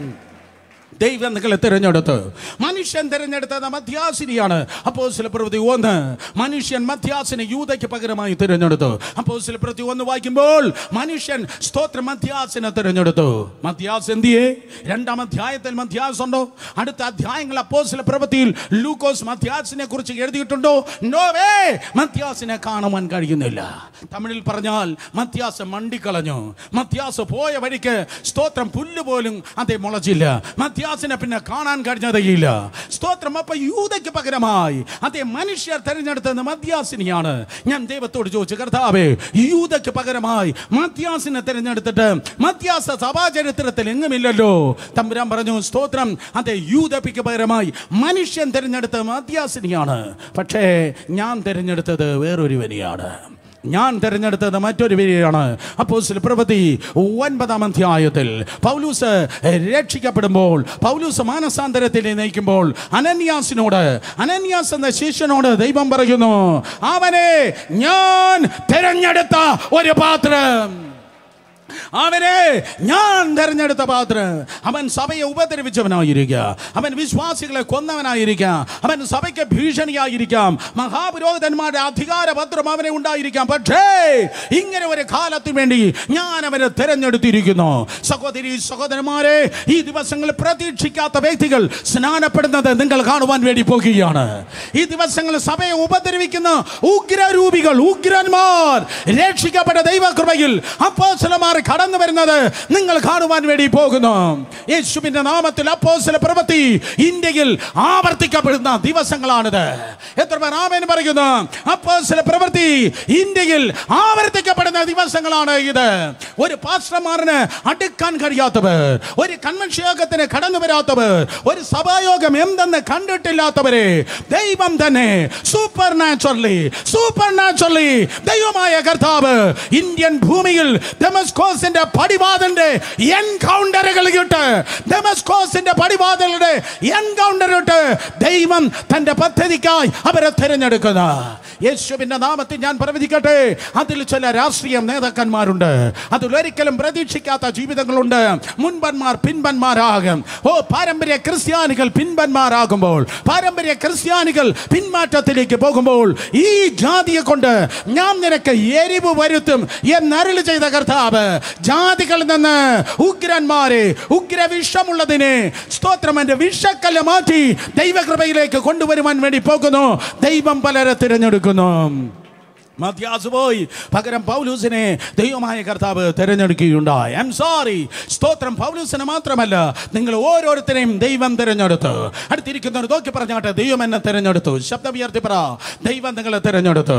എന്നാൽ ദൈവം നിങ്ങളെ തിരഞ്ഞെടുക്കുമ്പോൾ ദൈവത്തിന്റെ കരം നിങ്ങളുടെ മേൽ കൂടെ ഇരിക്കുമ്പോൾ സ്തോത്രം ദൈവിക ദൈവരാജ്യത്തിന്റെ നന്മയ്ക്ക് വേണ്ടി നിങ്ങൾ സ്തോത്രം അതെ പ്രയോജനപ്പെടുമ്പോൾ മനുഷ്യർ നിനക്ക് നേരെ വിരൽച്ചുണ്ട് മനുഷ്യൻ നിനക്ക് നേരെ പ്രശ്നമുണ്ടാക്കുക മത്തായി സുവിശേഷം ഇരുപത്തിനാലാം അധ്യായം എട്ട് ഒൻപത് വാക്യങ്ങൾ വായിക്കുമ്പോൾ അന്ത്യകാലത്തിന്റെ ലക്ഷണത്തെക്കുറിച്ച് കർത്താവ് പറയുകയാണ്. മത്തായി സുവിശേഷം ഇരുപത്തിനാല് എസ്കറ്റോളജിക്കൽ വ്യൂവിൽ അന്ത്യകാലത്ത് സംഭവിക്കുന്ന കാര്യത്തെക്കുറിച്ച് പറയുമ്പോൾ കർത്താവ് ഇപ്രകാരം പറയുന്നു. മത്തായി സുവിശേഷം ഇരുപത്തിനാല് എട്ട് എങ്കിലും ഇതൊക്കെയും ഈ നോവിന്റെ ആരംഭം അത്രേ ഒൻപതാം വാക്യം അന്ന് അവർ നിങ്ങളെ ഉപദ്രവത്തിന് ഏൽപ്പിക്കുകയും അന്ന് അവർ നിങ്ങളെ ഉപദ്രവിക്കുമെന്ന് വേണമെങ്കിൽ അവർ നിങ്ങളെ കൊല്ലുമെന്ന് എന്റെ നാമനിമിത്തം യേശുവിന്റെ നാമനിമിത്തം സകല ജാതികളും നിങ്ങളെ പകയ്ക്കുമെന്ന്. ആരെയാണ്?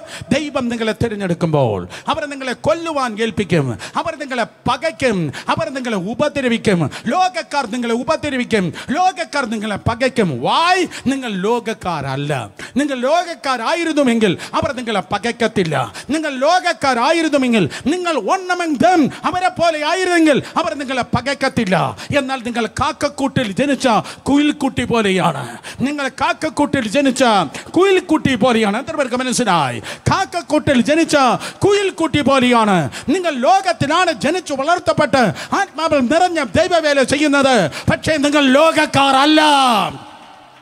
നിങ്ങൾ രക്ഷിക്കപ്പെടാത്ത മറ്റുള്ളവരെ പോലെയല്ല. നിങ്ങൾ ജാതികളെ പോലെയല്ല. നിങ്ങൾ ഈ ബൈബിൾ വായിക്കുന്നവരാണ്. നിങ്ങൾ അനുസരിക്കുന്നവരാണ്. നിങ്ങൾ ആത്മാവിൽ നിറഞ്ഞവരാണ്. നിങ്ങൾ ദൈവത്തിന്റെ ജനമാണ്. അതുകൊണ്ട് മറ്റുള്ളവർ നിങ്ങളെ പകയ്ക്കും. മറ്റുള്ളവർ നിങ്ങളെ സ്തോത്രം തകർക്കുവാൻ നോക്കും. അവൻ നിങ്ങളെ ഉപദ്രവിക്കും. പക്ഷേ ധൈര്യമായിരിക്കും. മറ്റുള്ളവർ നിങ്ങളെ ഉപദ്രവിക്കുമ്പോൾ ഉപദ്രവം ഏൽക്കുന്നവരെ നിന്ന സഹിക്കുന്നവരെ പ്രതിസന്ധി കണ്ടവരെ മനസ്സിലാക്ക്. യുദ്ധം നിന്റെതല്ല. യുദ്ധം ദൈവത്തിന്റെതാണ് അതാണ് യുദ്ധം നിന്റെതല്ല. യുദ്ധം കർത്താവിന്റെതാണ് ദൈവത്തിന്റെ കൃപയാൽ ആരെയാണോ ദൈവം തിരഞ്ഞെടുത്തത്? ദൈവകൃപയാൽ ഏത് അപ്പോസിനെയാണോ ഏത് പ്രവാചകനെയാണോ? ഏത് ദൈവദാസിനെയാണോ? ദൈവദാസിയാണോ? ഏത് കുടുംബങ്ങളെയാണോ? ഏത് സഭയാണോ? ഏത് സ്പിരിച്വൽ ലീഡറെയാണോ ദൈവമായ കർത്താവ് ഉപയോഗിച്ചത്. അവരെല്ലാവരും ഈ താഴ്വരയിലൂടെ പോയിട്ടുണ്ട്. അവരെല്ലാവരും ഈ തീച്ചുളയിലൂടെ കടന്നു പോയിട്ടുണ്ട് പക്ഷെ ഒറ്റ എണ്ണം പോലും സ്തോത്രം തകർന്ന് നിൽക്കുന്നത് ഞാൻ കണ്ടിട്ടില്ല. ഇന്ന് പകലും സകലതം ജയിച്ചു നിൽക്കുന്നത് മാത്രമേ ഞാൻ കണ്ടിട്ടുള്ളൂ. യേശുവിന്റെ നാമത്തിൽ. ഇന്നലെ ഈ ദൂത തയ്യാറാക്കുമ്പോൾ രാത്രി പതിനൊന്ന് നാൽപ്പതിന് യേശുദാസ് എന്ന് പേരുള്ളതായ ഒരു ദൈവദാസനെ ഞാൻ വിളിച്ചു. കേരളത്തിലല്ല സ്തോത്രം താൻ ബാംഗ്ലൂരാണ്. അദ്ദേഹത്തിന്റെ സ്വദേശം പള്ളിയാടി എന്നറിയപ്പെടുന്നതായ തമിഴ്നാടാണ്. ഞാൻ ചോദിച്ചു നിങ്ങളുടെ പാസ്റ്ററെ കുറിച്ച് ഞാൻ നാളെ പറയാൻ വേണ്ടി പോകുകയാണ്. അദ്ദേഹം ഏകദേശം ഇരുപത് മിനിറ്റ് തൊണ്ണൂറ് തൊണ്ണൂറ്റി ഒന്ന് തൊണ്ണൂറ്റി രണ്ട് കാലഘട്ടത്തിൽ ആ ദൈവദാസനും തന്റെ സഭയും സ്തോത്രം കടന്നുപോയതിനെ കുറിച്ച് പറവ പറയുകയുണ്ടായി. ഓ വെബ് സ്ട്രീം ഉള്ളത് കൊണ്ട് എന്റെ വാക്കുകൾക്ക് ഒത്തിരി ഒത്തിരി പരിധിയുണ്ട്. തേർഡ് സർവീസും ഫോർത്ത് സർവീസും വരുന്നവർക്ക് അവണ്ണമായിരിക്കത്തില്ലല്ലോ. സ്തോത്രം ഒരു രാഷ്ട്രീയ നേതാവ് സൗത്ത് ഇന്ത്യയിൽ കൊല്ലപ്പെട്ടു.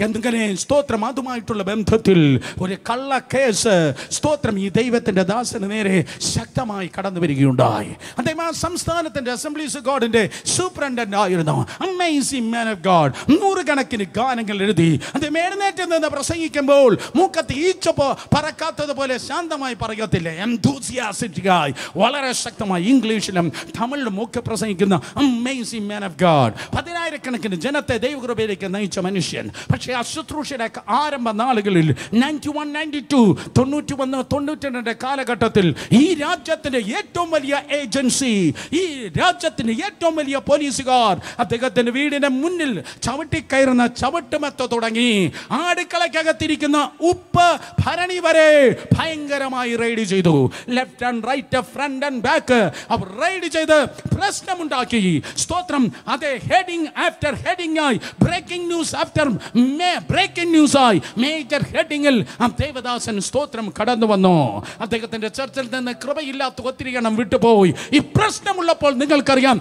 എത്ര എണ്ണം നിങ്ങളോട് ആത്മാർത്ഥത കൊണ്ട് എത്ര പേരാണ് കാര്യം കാണാൻ വേണ്ടി വരുന്നത്. സ്തോത്രം അതെ കാറ്റടിക്കുമ്പോൾ പതിരുകൾ പോകുന്നു. മണികൾ കൂടെ നിൽക്കുന്നു. മനസ്സിലായവർ കരങ്ങൾ ഉയർത്തി. ഹാലലൂയ പറഞ്ഞേ. അവസാനം സ്തോത്രം ആ ബെസ്റ്റ് ഏജൻസി മാസങ്ങൾ മാസങ്ങൾ നീണ്ടു നിന്നതായ ആ ഇൻവെസ്റ്റിഗേഷൻ ഈ പ്രകാരമാണ് തിരിച്ചു പറഞ്ഞത്. Absolutely you are a man of God first Paul Thangiah നിങ്ങൾ ഒരു യഥാർത്ഥ ദൈവത്തിന്റെ മനുഷ്യനത്രേ. എന്തിനു പേടിക്കുന്നു? ആരെ പേടിക്കുന്നു? ഹല്ലേലൂയ ഫസ്റ്റ് പോൾ തങ്കയ്യ നിങ്ങൾ യഥാർത്ഥ ഒരു ദൈവ മനുഷ്യനത്രേ. ദൈവവചനം പ്രസംഗിക്കുന്ന നേരെ പ്രസംഗിക്ക്. ദൈവവചനം പ്രസംഗിക്കുക ധൈര്യമായി പ്രസംഗിക്ക്. രണ്ട് മുട്ടേ ഉള്ളൂ. അത് മനുഷ്യന്റെ മുൻപിലല്ല പ്രശ്നങ്ങളുടെ മുൻപിലല്ല ദുർഭൂതങ്ങളെ മുൻപിലല്ല ഗുണ്ടകളുടെ മുൻപിലല്ല ദൈവത്തിന്റെ മുൻപിൽ മാത്രമേ എന്റെ മുട്ട് മടങ്ങത്തുള്ളൂ രണ്ട് കരങ്ങളെ അടിച്ച് വിശ്വസിക്കുന്ന ഒരു ദൈവത്തെ സ്തുതിച്ചാട്. വേദപുസ്തകം പറയുന്നു? ദൈവം നിന്നെ തിരഞ്ഞെടുത്തു.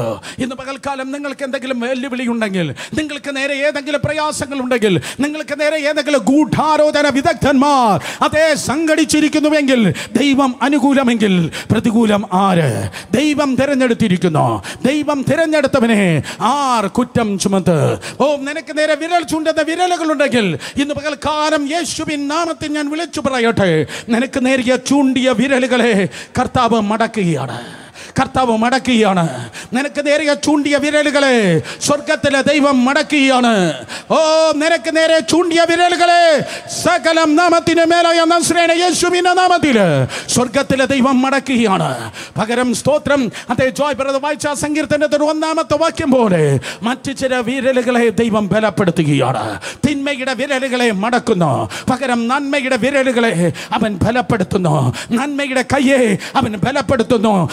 യുദ്ധത്തിനായി നിന്റെ കയ്യെയും പോരിനായി നിന്റെ വിരലുകളെയും ദൈവം ബലപ്പെടുത്തുകയാണ്. കമാൺ പീപ്പിൾ യുദ്ധത്തിനായി നിന്റെ കയ്യെയും പോരിനായി നിന്റെ വിരലുകളെയും ദൈവം ബലപ്പെടുത്തുകയാണ്.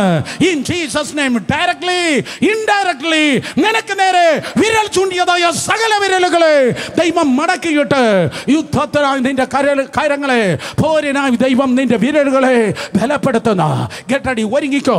ഈ ദിവസങ്ങൾ നിങ്ങളുടെ കരങ്ങൾ തുറക്കുമ്പോൾ നിങ്ങളുടെ കരം തുറക്കുമ്പോൾ ഒരിക്കൽ കൂടെ നിങ്ങളുടെ കരം തുറക്കുമ്പോൾ ഞാൻ കാണുന്ന മിന്നൽ പിണർ പോലെ ദുർഭൂതങ്ങൾ അലറി മാറുന്ന ദൈവത്തിന്റെ തീ ദൈവത്തിന്റെ തീ ഈ കൈകളിലൂടെ വ്യാപരിപ്പാൻ വേണ്ടി പോകുന്ന. കമൺ ഏറ്റെടുത്താടെ വായി തുറന്ന്. ശക്തിയോടെ ശക്തിയോടെ.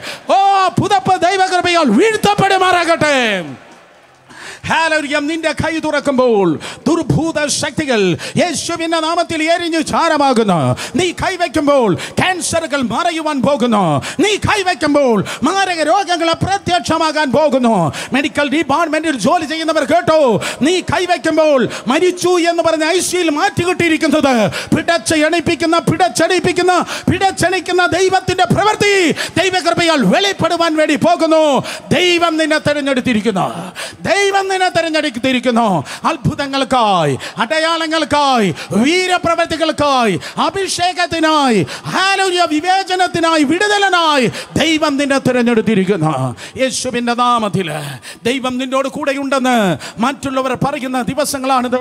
ഇൻ ജീസസ് നെയിം ദൈവം നിന്നെ തിരഞ്ഞെടുത്തിരിക്കുന്നു. അടുത്തിരിക്കുന്ന നാല് പേരെ നോക്കി പറഞ്ഞാട്ട് ദൈവം നിങ്ങളെ തിരഞ്ഞെടുത്തു. പെട്ടെന്ന് പറ ദൈവം നിങ്ങളെ തിരഞ്ഞെടുത്തു. വലിയ പദ്ധതിക്കായി ദൈവം നിങ്ങളെ തിരഞ്ഞെടുത്തിരിക്കുന്നു. നിന്റെ ശുശ്രൂഷ ഇതുവരെ വെളിപ്പെട്ടിട്ടില്ല. നീ ആരെന്ന് ആരും കണ്ടിട്ടില്ല. നിന്റെ ബെസ്റ്റ് സീസണിലേക്ക് നീ വന്നിട്ടേ ഉള്ളൂ. രണ്ടായിരത്തി ഇരുപത്തി ഒന്ന് ഈ സെപ്റ്റംബർ ഒക്ടോബർ നവംബർ ഡിസംബർ ഈ മൂന്നര മാസം ഉണ്ടല്ലോ. ഈ മൂന്നര മാസം ഈ വർഷത്തിന്റെ അവസാന മൂന്നര വർഷം മാസം. Come on come on come on come on come on hallelujah വായു തുറന്ന് വായു തുറന്ന് ശത്രുവിന്റെ പാളയത്തിൽ confusion confusion in the enemies camp confusion in the enemies camp confusion in the enemies hallelujah യുദ്ധത്തിനായി നിന്റെ കരങ്ങളെ പോരിനായി ദൈവം നിന്റെ വിരലുകളെ ബലപ്പെടുത്തുന്നു. സ്തോത്രം. അതുകൊണ്ടാണ് പൗലൂസ് ചോദിക്കുന്നത് ദൈവം നിന്നെ തിരഞ്ഞെടുത്തു. ആർ കുറ്റം വിധിക്കുക? ചോദ്യങ്ങൾ പല ഘട്ടത്തിൽ ചോദ്യങ്ങൾ പല ദിശകളിൽ നിന്റെ ചുറ്റും വരുമ്പോൾ സ്തോത്രം. ഉത്തരം ഒന്നും അത്രേ പറ ആരാ നിന്റെ ഉത്തരം? എന്താ നിന്റെ ഉത്തരം? ക്രിസ്തു ഏക ഉത്തരം. സ്തോത്രം. അതെ ഏക ഉത്തരം ക്രിസ്തു. ശബ്ദം ഉയർത്തി പറ. എന്താണ്? ഏക ഉത്തരം ക്രിസ്തു. അതാണ് നമ്മൾ ചിന്തിക്കുന്നത്. ഏക ഉത്തരം ക്രിസ്തു. ദൈവം തിരഞ്ഞെടുത്തവനെ മറ്റുള്ളവരെ കുറ്റം വിധിക്കുമ്പോൾ ക്രിസ്തു എന്ന ഏക ഉത്തരം. ഏക ഉത്തരം ക്രിസ്തു. രണ്ട് കരങ്ങൾ ഉയർത്തി. ഹാലോ പറ. സ്തോത്രം നമ്പർ ഫൈവ് അഞ്ചാമതായി അഞ്ചാമത്തെ ചോദ്യം വേദപുസ്തകം പറയുന്നു. മുപ്പത്തിനാലാം വാക്യം വായിക്കുമ്പോൾ മുപ്പത്തിനാലാം വായിക്കുമ്പോൾ വേദപുസ്തകം പറയുന്നു ശിക്ഷ വിധിക്കുന്നവൻ ആർ? ക്രിസ്തു യേശു മരിച്ചവൻ മരിച്ചിട്ട് എഴുന്നേറ്റവൻ തന്നെ. അവൻ ദൈവത്തിന്റെ വലതു ഭാഗത്തിരിക്കുകയും നമുക്ക് വേണ്ടി പക്ഷപാതം കഴിക്കുകയും ചെയ്യുന്ന. ആരാണ് കണ്ടം ചെയ്യുന്നത്? ആരാണ് ശിക്ഷ വിധിക്കുന്നത്? ശിക്ഷ വിധിക്കുന്നവൻ ആർ? ശബ്ദം ഉയർത്തി പറഞ്ഞാട്ടെ എന്താണ്? ശിക്ഷ വിധിക്കുന്നവൻ ആർ. നേരത്തെ പറഞ്ഞത് കുറ്റം വിധിക്കുന്നവൻ ആർ. സ്തോത്രം ഇപ്പോൾ ശിക്ഷ വിധിക്കുന്നവൻ ആർ. ഒറിജിനൽ ടെക്സ്റ്റിൽ ആദ്യത്തെ ചോദ്യം ശിക്ഷ വിധിക്കുന്നവൻ ആർ. നാച്ചുറലി എർത്തിലി ഇറളത്തിൽ വെളിപ്പെടുന്നത് ഭൗമമണ്ഡലത്തിൽ ഭൂമിയിൽ വെളിപ്പെടുന്നത്. ഇവിടെ ഇതാ സ്തോത്രം ശിക്ഷ വിധിക്കുന്നവൻ ആർ. ഹൂ ഇസ് ദാറ്റ് കണ്ടം എന്ന് പറയുന്നത് സ്പിരിറ്റ് വെളിപ്പെടുന്നത് ആത്മമണ്ഡലത്തിൽ വെളിപ്പെടുന്നത്. ആത്മമണ്ഡലത്തിൽ കുറ്റാരോപണത്തിന് വേണ്ടി നിൽക്കുന്നത്. ആത്മമണ്ഡലത്തിൽ കുറ്റം വിധിച്ച് വാദിച്ചു നിൽക്കുന്നത്. ആത്മമണ്ഡലത്തിൽ കുറ്റം വിധിച്ച് നിൽക്കുന്നത് ആരാണ്? ആത്മമണ്ഡലത്തിൽ നിനക്കെതിരെ കുറ്റം വിധിച്ച് നിൽക്കുന്നവന്റെ പേരാണ് സതാൻ സാത്താൻ നിനക്ക് നേരെ കുറ്റം വിധിക്കുന്നു. അവളെ പരിശുദ്ധാത്മാവിനാൽ നിറയ്ക്കല്ല്. അവന് കൃപാവരങ്ങൾ കൊടുക്കല്ല്. അവന് കിട്ടേണ്ട പൈസ കൊടുക്കരുത്. അവൻ നല്ലവനല്ല. അവൻ പ്രാർത്ഥിച്ചില്ല. അവൻ ടി വി കണ്ടു. സ്തോത്രം ആൾ ശരിയല്ല അവൾ ആര് ശരിയല്ല? ആ ചർച്ച ശരിയല്ല സ്തോത്രം ആ ശുശ്രൂഷ ശരിയല്ല എന്ന് പറഞ്ഞ് ദൈവത്തിന്റെ ജനത്തിനെതിരെ കുറ്റം പറഞ്ഞ് കുറ്റം പറഞ്ഞ് കുറ്റം പറഞ്ഞ് കുറ്റം പറഞ്ഞ് നിൽക്കുന്നവനാണ് സതാൻ കുറ്റം പറയുന്ന ഒരുത്തന് നീ കാണുന്നു എങ്കിൽ കുറ്റം പറഞ്ഞ് നടക്കുന്ന ഒരുത്ത ഒരുവനെ നീ കാണുന്നുവെങ്കിൽ he will be the direct agent of Lucifer സാത്താന്റെ നേരിട്ടുള്ള ഏജന്റാണ് കുറ്റം പറയുന്നത്. നിർത്തിക്കള. സ്തോത്രം ആ താലന്ത് നിനക്ക് വേണ്ട. സ്തോത്രം അതെ കുറ്റം പറയുന്നത് സാത്താന്റെ ഏജന്റാണ്. വേദപുസ്തകം പറയുന്നു പ്രവചനം മൂന്നാം അധ്യായം ഒന്നാം വാക്യം. വെളിപ്പാട് പുസ്തകം പന്ത്രണ്ടാം അധ്യായം ഒൻപത് പത്ത് വാക്യങ്ങൾ. സഹോദര വർഗത്തിനെതിരെ ഒന്നും രണ്ട് ദിവസമല്ല രാത്രിയും പകലും സഹോദര വർഗത്തിനെതിരെ രാ പകൽ കുറ്റം പറഞ്ഞ് നിൽക്കുന്നവനാണ് സാത്താൻ. ആത്മമണ്ഡലത്തിൽ അനുഗ്രഹം വേണ്ട. അവന് നന്മ കൊടുക്കരുത്. അവന് ജയം കൊടുക്കരുത്. ആ കുട്ടിക്ക് അഡ്മിഷൻ കൊടുക്കരുത്. സാത്താൻ ആത്മമണ്ഡലത്തിൽ കുറ്റം പറഞ്ഞ് കുറ്റം പറഞ്ഞ് നിൽക്കുകയാണ്. എന്നാൽ മനസ്സിലാക്കണമേ പിശാച് നിനക്ക് നേരെ കുറ്റം പറയുന്നതായ സമയത്ത്. സ്തോത്രം. സാത്താൻ നിനക്ക് നേരെ ശബ്ദമുയർത്തുമ്പോൾ സാത്താൻ പ്രതിഭാഗം വക്കീലായി. പ്രതിഭാഗം വക്ക- വക്കീലായി. ദൈവസിംഹാസനത്തിന് ഇടതുവശത്ത് നിന്ന് സാത്താൻ പ്രതിഭാഗം വക്കീലായി അവൻ കുറ്റം പറയുമ്പോൾ വലത് ഭാഗത്ത് ഒരിക്കലും ഒരു കേസ് തേറ്റിട്ടില്ല തോറ്റിട്ടില്ലാത്ത ബെസ്റ്റ് വക്കീൽ നിനക്ക് വേണ്ടി വാദിക്കുന്നു. മനസ്സിലായില്ല. ഇടതുവശത്ത് നിന്ന് സാത്താൻ സ്തോത്രം കുറ്റം പറയുമ്പോൾ ഇടതുവശത്ത് ദൈവസിംഹാസന ഇടതുവശത്ത് നിന്ന് രാത്രിയും പകലും പിശാജ് നിനക്ക് നേരെ കുറ്റം പറയുമ്പോൾ വലതുവശത്ത് ഒരു കേസ് ഒരിക്കലും തോറ്റിട്ടില്ലാത്ത കർത്താവ് സ്തോത്രം അവൻ നിനക്ക് വേണ്ടി. ശബ്ദമുയർത്തുന്നു. യേശു നിനക്ക് വേണ്ടി ശബ്ദമുയർത്തുന്നു. സെപ്റ്റംബർ മാസം പന്ത്രണ്ടാം തീയതി നിനക്കുള്ളതായ ദൂത് ഇതാണ്. നിനക്ക് വേണ്ടി ശബ്ദിക്കുന്നത് എം പി അല്ല എം എൽ എ അല്ല മന്ത്രിയല്ല രാഷ്ട്രീയക്കാരല്ല ഏതോ പെന്തിക്കോസ് മുതലാളിമാരല്ല. നിനക്ക് വേണ്ടി മര പ്രതികളിൽ നിന്ന് ഉയർത്തെഴുന്നേറ്റോ. തോൽവിയില്ലാത്ത സർവശക്തനായ കർത്താവ് നിനക്ക് വേണ്ടി ശബ്ദമിടുന്നു നിനക്ക് വേണ്ടി ശബ്ദിക്കുന്നു. രണ്ട് കരങ്ങളെ അടിച്ച് ശക്തിയോടെ ദൈവത്തെ സ്തുതിച്ചേ. അതാത്മാവിൽ കണ്ടിട്ടാണ് പൗലൂസ് പറയുന്നത്. ശിക്ഷ വിധിക്കുന്നവനാർ ക്രിസ്തു യേശു മരിച്ചവൻ മരിച്ചിട്ട് ഉയർത്തെഴുന്നേറ്റവൻ തന്നെ. ക്രിസ്തു യേശു.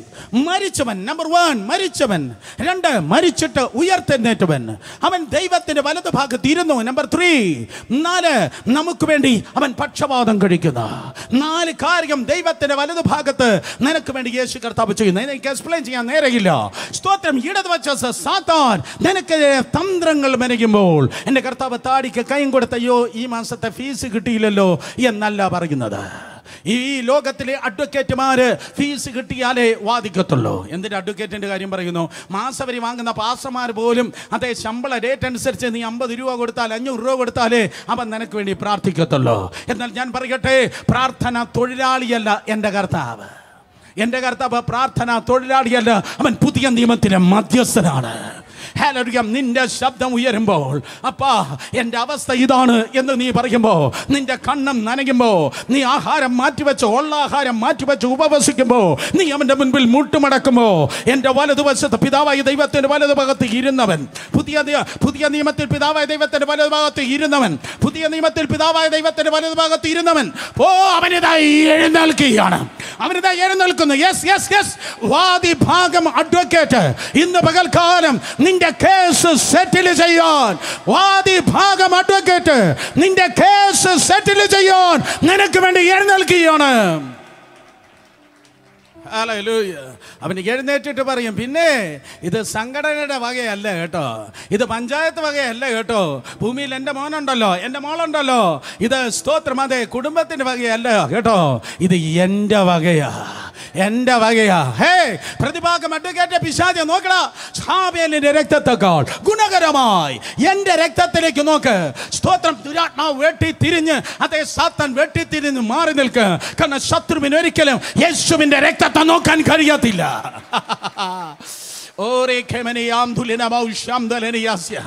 Oh, hallelujah. Come on, come on, come on, come on. Hallelujah. Yes. വിടുതലുകൾ നടക്കട്ടെ വിടുതലുകൾ നടക്കട്ടെ വിടുതലുകൾ നടക്കുന്നു തിന്മയുടെ ശബ്ദം മിണ്ടാതാകുന്നു തിന്മയുടെ വാക്കുകൾ വാക്കുകൾ അവസാനിക്കുന്നു തിന്മയുടെ വായികൾ യേശുവിന്റെ നാമത്തിൽ അടയുന്നു ദുഷ്ടൻ പല്ല് കടിച്ച് ഉരുകി പോകുന്നു ദുഷ്ടന്റെ ആശം നശിച്ചു പോകുന്നു നിന്റെ മകന് നിന്റെ മകളെ നിന്റെ ജീവിതത്തെ നിന്റെ ഭാവിയെ നിന്റെ ശുശ്രൂഷയെ ഒക്കെ തട്ടിക്കളിപ്പാൻ സാത്താൻ സ്തോത്രം അവകാശവാദം ചോദിക്കുമ്പോൾ വലതുവശത്ത് പിതാവായ ദൈവത്തിന്റെ വലതു ഭാഗത്ത് ശുശ്രൂഷ മുഴുവൻ തീർത്ത് ഇരുന്നവനായ കർത്താവ് നിനക്ക് വേണ്ടി വാദിപ്പാൻ എഴുന്നേൽക്കുകയാണ്. അവൻ രാജാതി രാജാവാണ് അവൻ കർത്താതി കർത്താവാണ് അവൻ ദൈവാതി ദൈവമാണ് അവൻ യഹൂദ ഗോത്രത്തിൽ സിംഹമാണ്. പക്ഷെ നീ മുട്ടുമടക്കി പ്രാർത്ഥിക്കുമ്പോൾ നീ ആത്മനിറവിൽ പ്രാർത്ഥിക്കുമ്പോൾ നീ അന്യഭാഷയിൽ പ്രാർത്ഥിക്കുമ്പോഴോ വേണ്ടവണ്ണം എങ്ങനെ പ്രാർത്ഥിക്കണമെന്ന് അറിയത്തില്ലല്ലോ. കമാൻ വേണ്ടവണ്ണം എങ്ങനെ പ്രാർത്ഥിക്കണമെന്ന് അറിയത്തില്ലല്ലോ. ഉച്ചരിച്ചു കൂടാത്ത ഞരക്കങ്ങളാൽ ആത്മാവിൽ നീ പ്രാർത്ഥിക്കുമ്പോൾ വേറെ ഒരുവൻ നിനക്ക് വേണ്ടി വാദിക്കുന്നു. നീ പ്രാർത്ഥിക്കുന്നു അവൻ വാദിക്കുന്നു. നീ പ്രാർത്ഥിക്കുന്നു അവൻ നിനക്ക് വേണ്ടി വാദിക്കുന്നു. നീ പ്രാർത്ഥിക്കുന്നു അവൻ നിനക്ക് വേണ്ടി വാദിക്കുന്നു. നീ പ്രാർത്ഥിക്കുന്നു അവൻ നിനക്ക് വേണ്ടി വാദിക്കുന്നു. പിതാവായ ദൈവത്തിന്റെ സന്നദ്ധിയിൽ അവൻ വാദിക്കും. അവൻ പറയും സ്തോത്രം എവന് വേണ്ടിയാണ് ഞാൻ മുൾക്കിരീടം ചൂടിയത്? എവന് വേണ്ടിയാണ് ഞാൻ ക്രൂശ് ക്രൂശ് ചുമന്നത്? എവന് വേണ്ടിയാണ് ഞാൻ ഈ ലോകത്തിലേക്ക് കടന്നു വന്നത്? ഒരു സംഭവം പറയട്ടെ. ഞാൻ സ്കൂൾ സ്കൂളിൽ പഠിക്കുന്ന സമയത്ത് ഞങ്ങൾ മലയങ്കിഴായിരുന്നു. സ്തോത്രം എട്ടാം ക്ലാസ് വരെ മലയങ്കിഴ ഡി എച്ച് എസ് എന്ന സ്കൂളിലാണ് ബോയ്സ് ഹൈസ്കൂളിലാണ് ഞാൻ പഠിച്ചത്. സ്തോത്രം അതെ ഞങ്ങളിങ്ങനെ സ്കൂൾ വിട്ടിട്ട് വളരെ വേഗം ഇങ്ങനെ ഓടി വരാനുണ്ട് ആദ്യം തന്നെ ഈ പ്രസംഗിക്കുന്ന വേഗതയിൽ എന്നതുപോലെ സ്കൂൾ വിട്ട് വേഗത്തിൽ ഓടി വരുമ്പോൾ എന്റെ കൂടെ കുറേ സഹോദരന്മാരുണ്ട് കുറേ സഹോദരന്മാരുണ്ട്. അപ്പോൾ ഇങ്ങനെ ആ ഷോർട്ട് കട്ട് എടുത്ത് ആ മല വഴി ഇങ്ങനെ താഴെ മലയങ്കിഴ പാപ്പനംകോട് റോഡിലേക്ക് ഇങ്ങനെ ഓടി ഇറങ്ങുമ്പോൾ വലതുവശത്ത് വലിയൊരു നാട്ടുമാവുണ്ട് വലിയൊരു നാട്ടുമാവ്. ഇപ്പോൾ അത് ഇല്ലെന്നാണ് എനിക്ക് തോന്നുന്നത് പട്ടുവെക്കാണ്. ഈ അടുത്ത കാലത്താണ് പക്ഷേ സ്തോത്രം അത് പട്ടുപോയി. സ്തോത്രം. അത് ആ പട്ടുപോയി. ആ നല്ല മാവ് പട്ടുപോയി. സ്തോത്രം. ആ മാവ് പട്ടുപോയി. പക്ഷെ അന്ന് കൊല്ല കൊല്ലാ മുന്തിരിങ്ങ എന്ന പോലെ ധാരാളം നാട്ടുമാങ്ങ മാങ്ങ ഇങ്ങനെ അതിലിങ്ങനെ കാച്ചു കിടക്കുക. അത് കാണുമ്പോൾ പിള്ളേർ ഞങ്ങൾക്ക് ഭയങ്കര ഉത്സാഹമാണ്. ആ ഉയരത്തിൽ നിന്ന് ആ കുന്നിങ്ങനെ ഇറങ്ങി വരും ഉയരത്തിൽ നിന്ന് നന്നായി എറിയുമ്പോൾ ആ കല്ല് വന്ന മാവേല കൊണ്ട് ഒരു വശത്ത് മാവിന്റെ ഒരു വശത്തൂടെ കല്ല് കയറി മറുവശത്തൂടെ കയറി ഇറങ്ങുമ്പോൾ ഒരു നാല് മാങ്ങയെങ്കിലും എങ്ങനെയായാലും താഴെ വീട് നാട്ടുമാങ്ങ കഴിക്കും. ആരുടെയെങ്കിലും വായിൽ വെള്ളം മുറിയെങ്കിൽ ഞാൻ ഉത്തരവാദിയല്ല. നാട്ടുമാങ്ങ നന്നായി കഴിച്ചു നാട്ടുമാങ്ങ കഴിച്ചു. പക്ഷെ നാട്ടുമാങ്ങ കഴിച്ച് കഴിച്ചു വന്നപ്പോൾ ഒരേ കാര്യം തന്നെ ഒരേ പ്രീച്ചണ്ണം തന്നെ കഴിച്ചു വരുമ്പോൾ ബോറടിക്കുന്ന പോലെ. നാട്ടുമാങ്ങ കഴിച്ചു വന്ന് ബോറടിച്ചപ്പോൾ പലരും പറഞ്ഞടാ സ്തോത്രം ഈ നാട്ടുമാങ്ങ കഴിച്ച് ബോറായി. നോക്കടാ അപ്പുറത്തെ പട്ടാളക്കാരന്റെ സ്തോത്രം ഒരു ക്യാപ്റ്റനാണ് പുള്ളി. ആ പട്ടാളക്കാരന്റെ കോമ്പൗണ്ടിൽ വെള്ളരി മാങ്ങ നിൽക്കുകയാണ്. നമുക്കിനി നാട്ടുമാവിൽ എറിയുന്നത് നിർത്തി. നാട്ടുമാവിൽ എറിയുമ്പോൾ ആരും ഒന്നും ചോദിക്കാനില്ല. പഞ്ചായത്ത് വകയാണ്. ആരും ചോദിക്കാനില്ല. നമുക്ക് വെള്ളരി മാവിൽ ഒന്ന് എറിഞ്ഞു നോക്കാം. ഒരു ദുഷ്ട ദിവസത്തിൽ ഒരു കഷ്ടകാലത്തിന്. ഏതാണ്ട് കൂടെ വന്ന തല ഞാനല്ല റിയലി ഞാനല്ല. ഞാൻ വെറും പാവമാണ് എന്നെ അങ്ങനെ തുറച്ചു നോക്കല്ല? എന്നെ കണ്ടിട്ട് എന്നെ തോന്നില്ല? സ്തോത്രം ഞാനല്ല. എന്റെ കൂടെ നടന്ന ഏതാണ്ട് ഒരുവൻ അതെ ആ വെള്ളരി മാവിൽ നല്ലൊരു ഏറി കൊടുത്ത് ആ കല്ല് ചെന്ന് പതിച്ചതും സിംഹഗർജനത്തിൽ ആ പട്ടാളക്കാരന്റെ ശബ്ദം പുറത്തേക്ക് വന്നു. ആരടാ? എന്റെ മാവിൽ എറിഞ്ഞത്. ഞങ്ങൾ ഓടി പി ടി ഉഷയല്ല എം ഡി വർഷമയല്ല ഇനി ഏതെങ്കിലും അമ്മമ്മമാർ വന്നെങ്കിൽ അവൾമാരുടെ മുഴുവൻ റെക്കോർഡും തകർത്ത് ഞങ്ങൾ വേഗത്തിൽ ഓടി. ഇന്ന് പകൽക്കാലം എനിക്ക് പറയാനുള്ളത് നീ പഞ്ചായത്ത് വകയല്ല നീ പൊതുസ്ഥലത്തല്ല നിൽക്കുന്നത്. വരുന്ന വാക്കനും പോക്കനും തട്ടാനും തകർക്കാനും നീ പൊതുസ്ഥലത്തല്ല. നിന്നെ ആരേലും തൊട്ടാൽ നിന്നെ ആരെങ്കിലും തൊട്ടാൽ ചോദിക്കാനും പറയാൻ ആളുണ്ട്. നിന്റെ ആരെങ്കിലും തൊട്ടാൽ ചോദിക്കാനും പറയാനും ആളുണ്ട്. നിയമസഭയിലല്ല ഡൽഹിയിലല്ല. നിന്നെ ആരെങ്കിലും തൊട്ടാൽ ഈ പ്രദേശത്തല്ല. സ്വർഗത്തിലെ ദൈവം പറയും "ഏ, നിങ്ങളെ തൊടുന്നവർ എന്റെ കണ്ണിലെ കൃഷ്ണമണിയെ തൊടുന്നു. കമോൺ നിങ്ങളെ തൊടുന്നവർ. എന്റെ കണ്ണിലെ കൃഷ്ണമണിയെ തൊടുന്നു. ശിക്ഷ വിധിക്കുന്നവൻ ആർ? ശിക്ഷ വിധിക്കുന്നവൻ ആർ? നീ തൊലയും നീ നശിക്കും നീ തകരും നിന്റെ ചർച്ച് പൂട്ടും നിന്റെ ശുശ്രൂഷ തീരും. ശിക്ഷ വിധിക്കുന്നവൻ ആർ? ശിക്ഷ വിധിക്കുന്നവൻ ആർ? ഏത് ഡോക്ടറാ പറഞ്ഞത്? നിനക്കൊരു കീമോതെറാപ്പി വേണമെന്ന്. ഏത് ഡോക്ടറാ പറഞ്ഞത്? അടുത്ത ദിവസം തന്നെ ഓപ്പറേഷൻ ഫിക്സ് ചെയ്യണമെന്ന്. ഈ പന്ത്രണ്ടാം തീയതി യേശുവിന്റെ നാമത്തിൽ. ഇന്ത്യൻ ടൈം ഇന്ത്യൻ ടൈം പന്ത്രണ്ട് മണി കഴിഞ്ഞപ്പോൾ ഇന്ന് പകൽക്കാലം ഈ പ്ലാറ്റ്ഫോമിൽ നിന്ന് സൗഖ്യത്തിന്റെ വചനത്തെ ഞാൻ സ്വതന്ത്രമാക്കി പറയുന്നു. വലതുവശത്ത് പിതാവായ ദൈവത്തിന്റെ വലത് ഭാഗത്ത് യേശു നിനക്ക് വേണ്ടി സംസാരിക്കുന്നു. യേശുവിന്റെ സൗഖ്യത്തിന്റെ ശബ്ദം ആരോഗ്യത്തിന്റെ ശബ്ദം ദീർഘായുസിന്റെ ശബ്ദം നിനക്കായി ഉയരുകയാണ്. യേശുവിന്റെ നാമത്തിൽ ആ ഹൃദയ രോഗത്തിന്റെ ഓപ്പറേഷൻ യേശുവിന്റെ നാമത്തിൽ ക്യാൻസൽ ആകട്ടെ. ഹാലലൂയ എൻഡോസ്കോപ്പി ടെക്ക് യേശുവിന്റെ നാമത്തിൽ നോർമൽ ആകട്ടെ. അകത്ത് ആ അകത്തെ അവയവങ്ങൾ യേശുവിന്റെ നാമത്തിൽ സൗഖ്യമാകട്ടെ. നിനക്ക് വിരോധമായി പറഞ്ഞതായ ശബ്ദങ്ങൾ അത് അഡ്വക്കേറ്റ് പറഞ്ഞതാകട്ടെ. അത് ഡോക്ടർമാർ പറഞ്ഞതാകട്ടെ. അത് മന്ത്രവാദികൾ പറഞ്ഞതാകട്ടെ. ചർച്ചിന് ചർച്ചിനകത്ത് പറഞ്ഞതാകട്ടെ. ചർച്ചിന് പുറത്ത് പറഞ്ഞതാകട്ടെ. നിനക്ക് വിരോധമായി പറഞ്ഞതായ സകല ശബ്ദങ്ങളും ഇന്ന് പകൽ സ്വർഗത്തിലെ ദൈവം ക്യാൻസൽ ചെയ്യുകയാണ്. കമാൻ കമാൻ ഹാലലൂയ ഹാലലൂയ അല്പനേരം ജനം ആരാധിച്ചാട്.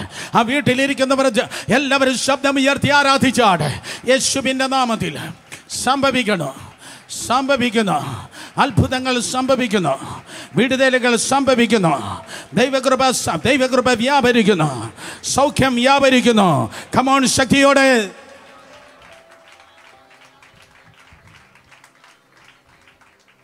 നിനക്കെതിരെ സംസാരിച്ചതായ സകല ശബ്ദങ്ങളെ കർത്താവ് സൈലൻസ് ചെയ്യുകയാണ്. സ്തോത്രം ശത്രു മിണ്ടാതാകുകയാണ്. അടുത്തിരിക്കുന്നവർ നോക്കി ഇങ്ങനെ പറഞ്ഞാട്ടെ ശത്രു മിണ്ടാതാകുന്നു. പെട്ടെന്ന് പറ ശത്രു മിണ്ടാതാകുകയാണ്.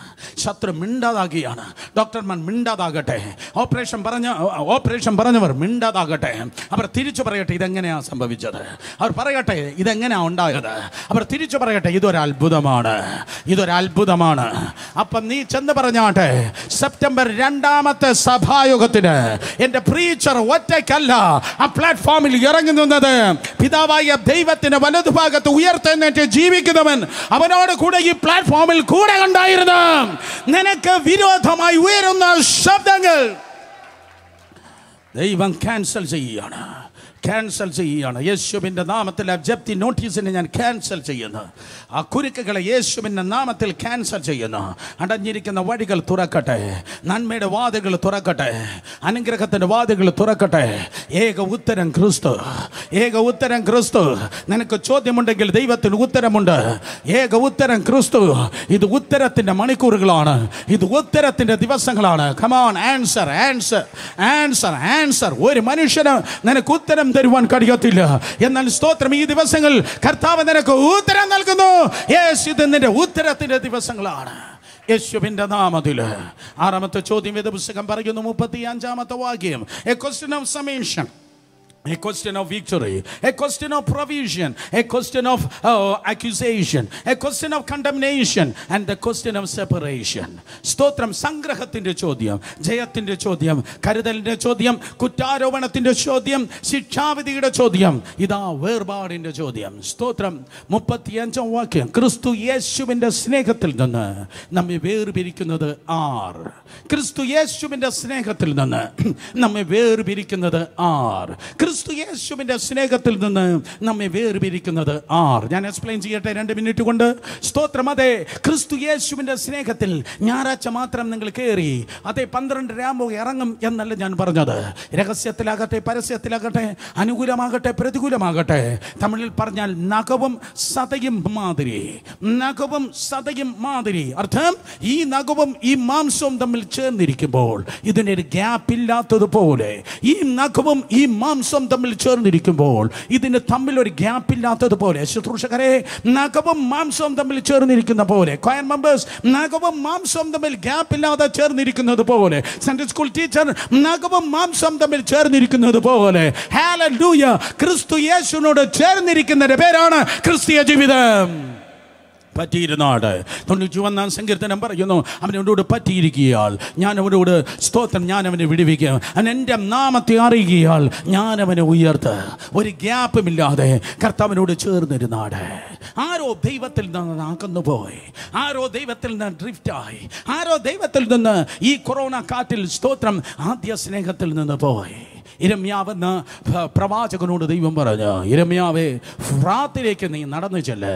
നിന്റെ അരക്കച്ചി എടുക്ക.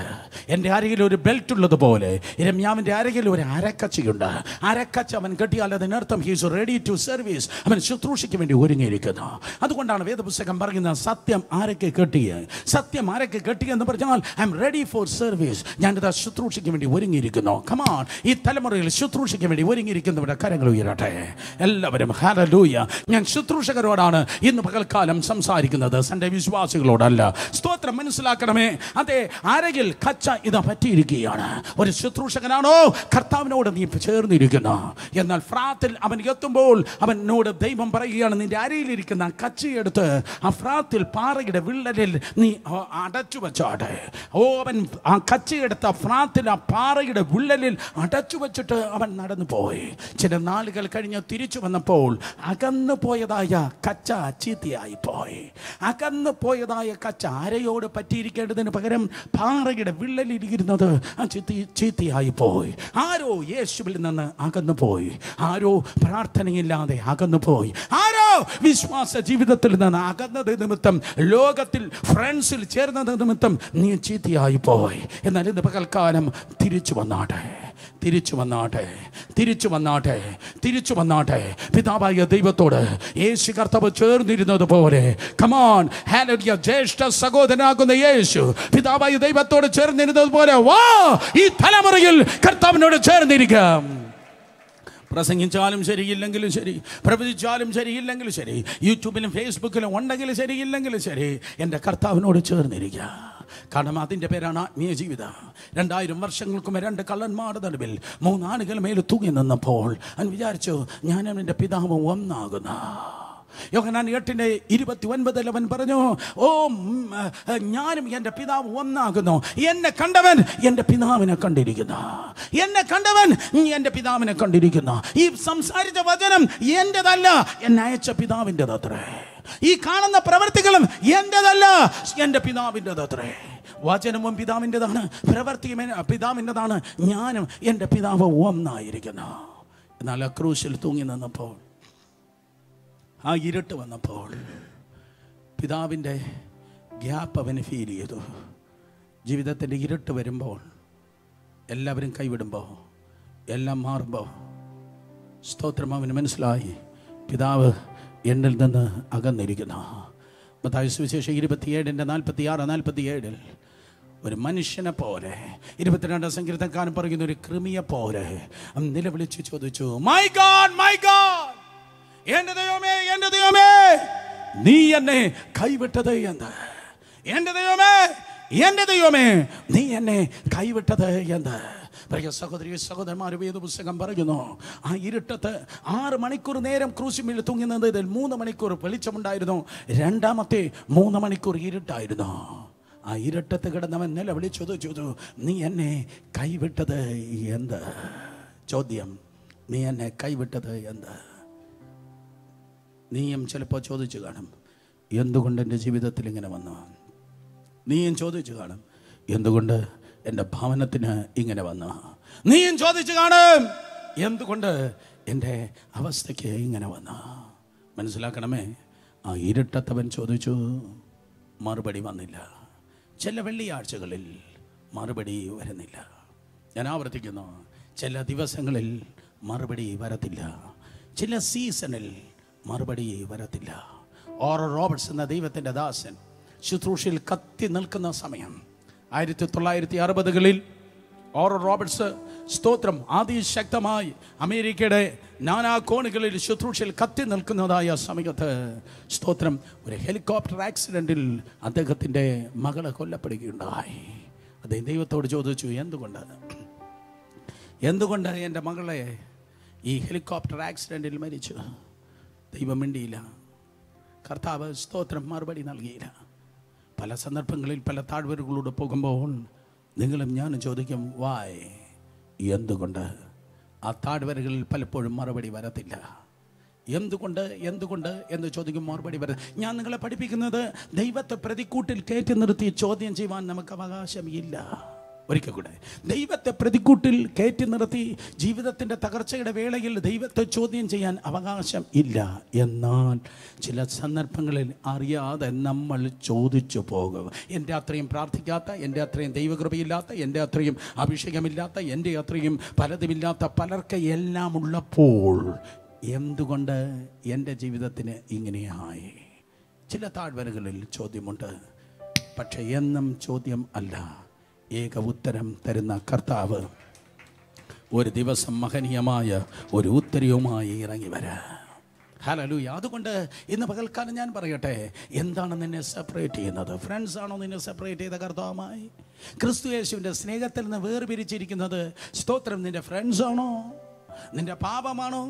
നിന്റെ ലോകത്തിന്റെ മയമാണോ?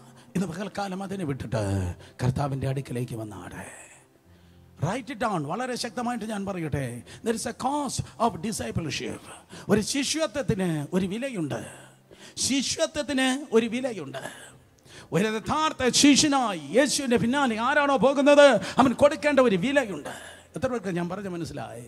ശിഷ്യനായി യേശുവിന്റെ പിന്നാലെ ആരാണോ പോകുന്നത്? അവൻ കൊടുക്കുന്ന വിലയുണ്ട്. പത്രോസേ നീ എന്താ എന്താ നീ വിലയായി കൊടുത്തത്? അതെ ഞാൻ എന്റെ വള്ളവും വരെ വിട്ടിട്ടാണ് അവന്റെ പിന്നാലെ പോയത്. സഖായേ നീ യേശുവിന്റെ പിന്നാലെ എരിഹോവിൽ നിന്ന് അതെ യേശുവിന്റെ പിന്നാലെ അനുഗമിച്ചതായി കാണുന്നു. എന്താ നീ ഇട്ടിട്ട് പോയത്? അത് എന്റെ അപ്പൻ എന്റെ എന്റെ വലിയപ്പച്ചന്മാർ എനിക്ക് തന്ന ഭിക്ഷക്കാരന്റെ പുതപ്പുണ്ടായിരുന്നു. ആ പുതപ്പ് ഇട്ടേച്ച ഞാൻ പോയത്. യേശുവിന്റെ പിന്നാലെ ആരാണോ പോയത്? അവർക്ക് വിലയേറിയതെന്ന് തോന്നിയ പലതും ഇട്ടിട്ടാണ് അവർ പോയത്. അപ്പോൾ സിലൻ പൗലൂസ് പറയുന്നു എനിക്ക് ലാഭമെന്ന് പറഞ്ഞ പലതും ഞാൻ ചെയ്തമെന്ന് എണ്ണിയിട്ടാണ് ഞാൻ അവന്റെ പിന്നാലെ കടന്നു പോയത് ക്രിസ്തു യേശുവിന്റെ സ്നേഹത്തിൽ നിന്ന് നിന്നെ വേർപിരിക്കുന്ന നിന്റെ ജഡം നന്മയെന്ന് പറയുന്ന നിന്റെ ബുദ്ധി കൊള്ളാമെന്ന് പറയുന്ന പലതിന് ഇന്ന് പകൽക്കാലം തള്ളി മാറ്റി ഇട്ട് കളഞ്ഞേച്ച് അവരിൽ നിന്ന് എനിക്ക് വേർപിരിഞ്ഞിരിപ്പാൻ ഒന്നും കഴിയത്തില്ല. ഓ ഞാനും എന്റെ കർത്താവ് ഒന്നെന്ന് പറഞ്ഞ് ഞാനും എന്റെ കർത്താവും ഒന്നാണ് എന്ന് പറഞ്ഞ് യേശുവിന്റെ പിന്നാലെ പോയോട്ടെ. രണ്ട് കരങ്ങൾ ഉയർത്തി ഹാലലുയ പറഞ്ഞേ. Can separate me from the love of Christ? ഈ തലമുറയിൽ തെളിയിക്കുക പ്രിയ സഹോദരനെ സഹോദരിയെ. ഈ തലമുറയിൽ തെളിയിക്കുക പ്രിയ സഹോദരനെ. സ്തോത്രം. നിനക്ക് വലുത് ശുശ്രൂഷയല്ല നിന്റെ വലുത് ഉപവാസമല്ല അന്യഭാഷയല്ല നിന്റെ വലുത് കൃമാപരമല്ല പേരല്ല പ്രശസ്തിയല്ല പണമല്ല സ്ഥാനമല്ല. യേശുവായിരിക്കട്ടെ നിന്റെ ഏറ്റവും വലുത്. പകരം തെളിയിക്കണം ജീവിച്ച് തെളിയിക്കണം. ഇത് പ്രസംഗിക്കാനുള്ളതല്ല. എന്റെ വാക്കുകൾക്ക് പരിധിയുണ്ട്. പകരം നിന്റെ ജീവിതത്തിൽ പ്രാക്ടിക്കലി നീ തെളിയിച്ചോട്ടെ. എനിക്ക് എന്നും എപ്പോഴും യേശുവാണ് വലിയവൻ. രണ്ട് കരങ്ങളെ ഉയർത്തി പറഞ്ഞോട്ടെ. ഹലറിയ എനിക്ക് യേശുവാണ് വലുത്. പറ എനിക്ക് യേശുവാണ് വലുത്. പറഞ്ഞേ പറഞ്ഞേ പറഞ്ഞേ പറഞ്ഞേ പറഞ്ഞേ. Thank you Jesus thank you സ്തോത്രം. പറഞ്ഞേ പറഞ്ഞേ പറഞ്ഞേ. താങ്ക് യു ജീസസ് എനിക്ക് യേശുവാണ് വലിയവൻ. താങ്ക് യു ജീസസ് എനിക്ക് യേശുവാണ് വലിയവൻ. ആറാമത്തെ ചോദ്യം. It's a question of separation ക്രിസ്തു യേശുവിൽ നിന്ന് ക്രിസ്തു യേശുവിന്റെ സ്നേഹത്തിൽ നിന്ന് നമ്മെ വേർപിരിക്കുന്നതാ. നമ്മെ വേർപിരിക്കുന്നതാ. ഞാൻ നിർത്തി. അവസാനമായി ഞാൻ പറഞ്ഞു നിർത്തട്ടെ. ഏഴാമത്തെ ചോദ്യം ഇതാണ്. കഷ്ടതയോ? സങ്കടമോ? ഉപദ്രവമോ? പട്ടിണിയോ? നഗ്നയോ? നഗ്നതയോ? ആപത്തോ? വാളോ? ആ മുപ്പത്തിയഞ്ചാം വാക്യത്തിൽ തന്നെ കഷ്ടതയോ? സങ്കടമോ? ഉപദ്രവമോ? പട്ടിണിയോ? നഗ്നതയോ? ആപത്തോ? വാളോ? ഏഴ് കാര്യങ്ങൾ ഒറ്റ സെന്റൻസിൽ എഴുതിയിരിക്കുകയാണ്. വളരെ ശ്രദ്ധിക്കണമേ. It's a question of persecution അത് പീഡയുടെ ചോദ്യം അത് പീഡയുടെ ചോദ്യം. മനസ്സിലാക്ക്? നിങ്ങൾ എത്ര വലിയ അഭിഷേകമുള്ളവരെങ്കിലും നിങ്ങൾക്കൊരു പീഡയുണ്ട്. നിങ്ങൾ എത്ര വലിയ ശുശ്രൂഷയുള്ളവരെങ്കിലും നിങ്ങൾക്കൊരു പീഡയുണ്ട്. ഞാൻ ഇവാലുവേറ്റ് ചെയ്ത് പറഞ്ഞാൽ വിലയിരുത്തി പറഞ്ഞാൽ നിങ്ങൾക്ക് ചെറിയ ശുശ്രൂഷയുണ്ടെങ്കിൽ നിങ്ങളുടെ പീഡ ചെറുതായിരിക്കും. നിങ്ങൾക്ക് വലിയ ശുശ്രൂഷയുണ്ടെങ്കിൽ നിങ്ങളുടെ പീഡ വലുതായിരിക്കും. എന്നാൽ കുറച്ച് മുന്തിരിങ്ങയെ പറിച്ചെടുത്താട്ടെ. വൈൻ കുറച്ച് മുന്തിരിങ്ങയെ പറിച്ചെടുത്താട്ടെ. അല്ലെങ്കിൽ ഗ്രേപ്സ് അതിന് എത്രത്തോളം പ്രഷറൈസ് ചെയ്യുന്നോ അത്രത്തോളം വീഞ്ഞായിരിക്കും അതിലൂടെ പുറത്തേക്ക് പോകുന്നത്. എത്രത്തോളം മാനസികമായ പ്രഷറിലൂടെ നിങ്ങൾ പോകുന്നു എത്രത്തോളം ശരീരത്തിന്റെയും മനസ്സിന്റെയും പ്രഷറാണോ നിങ്ങൾ അനുഭവിക്കുന്നത് അത്ര വലിയ അഭിഷേകധാരിയായിരിക്കും നിങ്ങളുടെ ദൈവകൃപയാൽ പുറത്തിറങ്ങുന്നത്. എത്രത്തോളം അഭിഷേകമാണോ നിങ്ങളുടെ പുറത്തേക്ക് പോകുന്നത് അത്രത്തോളം ബെനിഫിറ്റ് ആയിരിക്കും ജനം അനുഭവിക്കുന്നത്. ഒരിക്കൽ കൂടെ എത്രത്തോളം നിങ്ങൾ പ്രശ്നം അനുഭവിക്കുന്നു അത്രത്തോളം വീഞ്ഞ് പുറത്തേക്ക് എടുക്കുന്നു എത്രത്തോളം വീഞ്ഞ് പുറത്തേക്ക് ഒഴുകുന്നു അത്രത്തോളം ബെനിഫിറ്റാണ് ജനം അനുഭവിക്കുന്നത്. സഭ നിൽക്കുന്നത് ദിനാറിലും ദ്രഹാമിലും ഡോളറിലും പൗണ്ടിലും അല്ല. ഇന്ന് പകലും ദൈവസഭ നിൽക്കുന്നത് വിശുദ്ധന്മാരുടെ വിയർപ്പിലും കണ്ണുനീരിലും രക്തത്തിലുമാണ്. നോട്ട് കഴിഞ്ഞു? എഴുന്നേറ്റ് ഒന്ന് കേൾക്കാമോ? ഇന്ന് പകലും ദൈവസഭ നിൽക്കുന്നത് വിശുദ്ധന്മാരുടെ കണ്ണുനീരിലും വിയർപ്പിലും രക്തത്തിലുമാണ്. കേട്ടോ? സ്തോത്രം. കഴിഞ്ഞ ദിവസം ഞാൻ ഛത്തീസ്ഗഡും അത് ഐ മീൻ കഴിഞ്ഞ ദിവസം ഞാൻ തെലങ്കാനയിലും ആന്ധ്രയിലും ഒക്കെ ആയിരിക്കുമ്പോൾ അവരിങ്ങനെ ഞെട്ടിപ്പിക്കുന്ന വാർത്തകളാണ് പറഞ്ഞത്. ഈ കോവിഡ് കാലത്ത് ഇന്ത്യയുടെ പല സംസ്ഥാനങ്ങൾ ആയിരക്കണക്കിന് ദൈവദാസന്മാർ വേട്ടയാടപ്പെടുന്നു. പലരും ഭവനങ്ങളിൽ പാർക്കുന്നില്ല. പലരും വീടിന് പുറത്താണ്. ധാരാളം പേർക്ക് കള്ളക്കേസുകളുണ്ട്. ഒത്തിരി പേർ ഒത്തിരി പേർ നൂറുകണക്കിന് വ്യക്തികൾ അടികൊള്ളുന്നു. ഞാൻ പ്രസംഗിക്കുന്ന ഈ ഈ ഞായറാഴ്ചയും സ്തോത്രം ഒത്തിരി ഒത്തിരി സഭകൾ പീഡിപ്പിക്കപ്പെടുന്നുണ്ട്. ഇത് സഭയ്ക്ക് ഉറക്കത്തിന്റെ കാലമല്ല. ഇത് സഭയ്ക്ക് പീഡയുടെ കാലമാണ്. പക്ഷേ ഈ പീഡയുടെ കാലത്ത് നീ ഞാൻ പിടിച്ചു നിന്നേ പറ്റത്തുള്ളൂ. കഷ്ടതയോ സങ്കടമോ ഉപദ്രവമോ പട്ടിണിയോ നഗ്നതയോ ആപത്തോ വാളോ പീഠഭൂമിയിൽ നിന്ന് കടന്നു വരുമ്പോൾ അതേ ഉണർവ് തുറന്ന സ്വർഗത്തിൽ നിന്ന് കടന്നു വരുന്നുണ്ട്. പീഡ എവിടെയുണ്ടോ? പീഡയിലൂടെ പോയതായ ദൈവസഭ എപ്പോഴും ഉണർവ് കണ്ടിട്ടുണ്ട്. പൗലുസിത എഴുതുന്നതായ സമയത്ത് ആയിരക്കണക്കിന് ആൾക്കാർ കൊല്ലപ്പെടുകയാണ്. പൗലുസിത എഴുതുന്നതായ സമയത്ത് ജടയാടുകളുടെ തോൽ ധരിച്ച് പുറത്ത് നല്ല വെയിലത്ത് വിശ്വാസികളെ കെട്ടിയിടും. ജടയാടുകളെ തോട ആ വെയിൽ കൊണ്ട് ആ തോലിങ്ങനെ ശൃംഗി അതിങ്ങനെ മുറുകുമ്പോൾ വിശ്വാസികളെ എല്ലുകൾ പൊട്ടി നിലവിളിച്ച് നിലവിളിച്ച് അവർ ഇഞ്ച് ബൈ ഇഞ്ചായി അവർ മരിക്കും. ചില സമയത്ത് വിശ്വാസികൾ എന്ന് പറയുന്നവർ റോമാ പ്രഭുക്കന്മാരുടെയും നാട്ടുരാജാക്കന്മാരുടെയും നീറോസ് കൈസറിന്റെയും സ്തോത്രമതെ കൊട്ടാരങ്ങളിൽ മെഴുകുതിരികളായി നിൽക്കും. ഇന്നെന്റെ മുൻപിൽ ഒത്തിരി ലൈറ്റുകളുണ്ട്. അന്ന് ഇതുപോലെ ലൈറ്റില്ല. അന്ന് വിശ്വാസികളെ ജയിലിൽ നിന്ന് പിടിച്ചിട്ട് വന്ന് പന്നിയുടെ നെയ്യെ അവന്റെ തലവഴി ഒഴിച്ച് തീ കത്തിക്കുമ്പോൾ മെഴുകുതിരി പോലെ അവർ നിന്ന് കത്തും. അതിൽ നിന്നാണ് ചാൾസ് ജോൺ എഴുതിയത് ഒരു കൈത്തിരി പോൽ കത്തിയെരിഞ്ഞൊരിക്കൽ തിരുമാറിവിൽ മറഞ്ഞിടും ഞാൻ. ഒരുവൻ കത്തി ചാരമാകുമ്പോൾ സ്തോത്രം ജയിലിൽ നിന്ന് അടുത്ത വിശ്വാസിയെ കൊണ്ടുവന്ന് ആ ചാരത്തെ മാറ്റി ആ തൂണിൽ കെട്ടുമ്പോൾ അവനോട് ചോദിക്കും എടോ യേശുവിനെ തള്ളിപ്പറ വീട്ടിൽ പോ. യേശുവിനെ തള്ളിപ്പറഞ്ഞ് വീട്ടിൽ പോ. അപ്പൊ അവൻ തിരിച്ച് ഇപ്രകാരം പറയും ക്രിസ്തു യേശുവിന്റെ സ്നേഹത്തിൽ നിന്ന് എന്നെ വേർപിരിക്കുന്നതാ.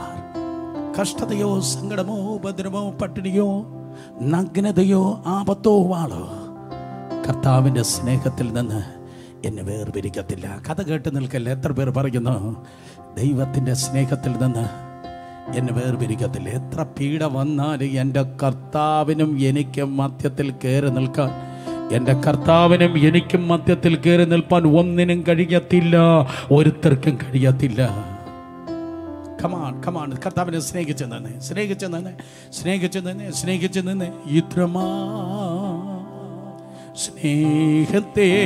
യെസ് യെസ് യെസ് ദൈവത്തിന് ആത്മാവ് ചലിക്കുന്നു come on hallelujah in Jesus name oh hallelujah കഷ്ടതയോ സങ്കടമോ ഉപദ്രവമോ പട്ടിണിയോ നഗ്നതയോ ആപത്തോ വാളോ സ്തോത്രം. ഇത് എഴുതിയ പൗലൂസിന് പോലും അത് തിയറി അല്ലായിരുന്നു ഇത് എഴുതിയ പൗലൂസിന് പോലും അത് പ്രാക്ടിക്കൽ ആയിരുന്നു. ശിരച്ഛേദനത്തിന് വേണ്ടി ശിരസ് ഛേദിക്കപ്പെടുവാനായി. കഴുത്ത് നീട്ടപ്പെടുന്നതിന് മിനിറ്റുകൾക്ക് മുമ്പ് താൻ ഇപ്രകാരം എഴുതി ഞാൻ നല്ല പോർ പൊരുതു. ഞാൻ നല്ല പോർ പൊരുതു. ഞാൻ നല്ല പോർ പൊരുതു. കമാൺ നമുക്ക് പറയണം. ഞാൻ നല്ല പോർ പൊരുതു. പിന്നെ ഓട്ടം പകുതി വെച്ച് നിർത്തി എന്നല്ല. ഓട്ടം തികച്ചു. ഓട്ടം തികച്ചു. ഓട്ടം തികച്ചു. ഓട്ടം തികച്ചു. ശബ്ദം ഉയർത്തി എല്ലാവരും. ഓട്ടം തികയ്ക്കണം. നിന്റെ മുൻപിൽ ഒരു ടാസ്ക് ദൈവം വെച്ചിട്ടുണ്ട്. നിന്റെ മുൻപിൽ ഒരു ടാസ്ക് ദൈവം വെച്ചിട്ടുണ്ട്. അത് പകുതി വഴിയിൽ വെച്ച് നിർത്തരുത്. ഓട്ടം തികയ്ക്കണം. നിന്റെ അകത്ത് ദൈവം വെച്ചിട്ടുള്ള വിശ്വാസത്തിന്റെ നാളമുണ്ട് അതണഞ്ഞു പോകല്ല പോകൽ. വിശ്വാസം കാത്ത്. തല ഉയർത്തി പറ. ഞാൻ ചോദ്യചിഹ്നമായി തല കുനിഞ്ഞല്ല തല ഉയർത്തി എന്റെ തലയിൽ ഒരു നീതിയുടെ കിരീടം എനിക്കായി വച്ചിട്ടുണ്ട്. നീതിയുടെ കിരീടം വച്ചിട്ടുണ്ട്.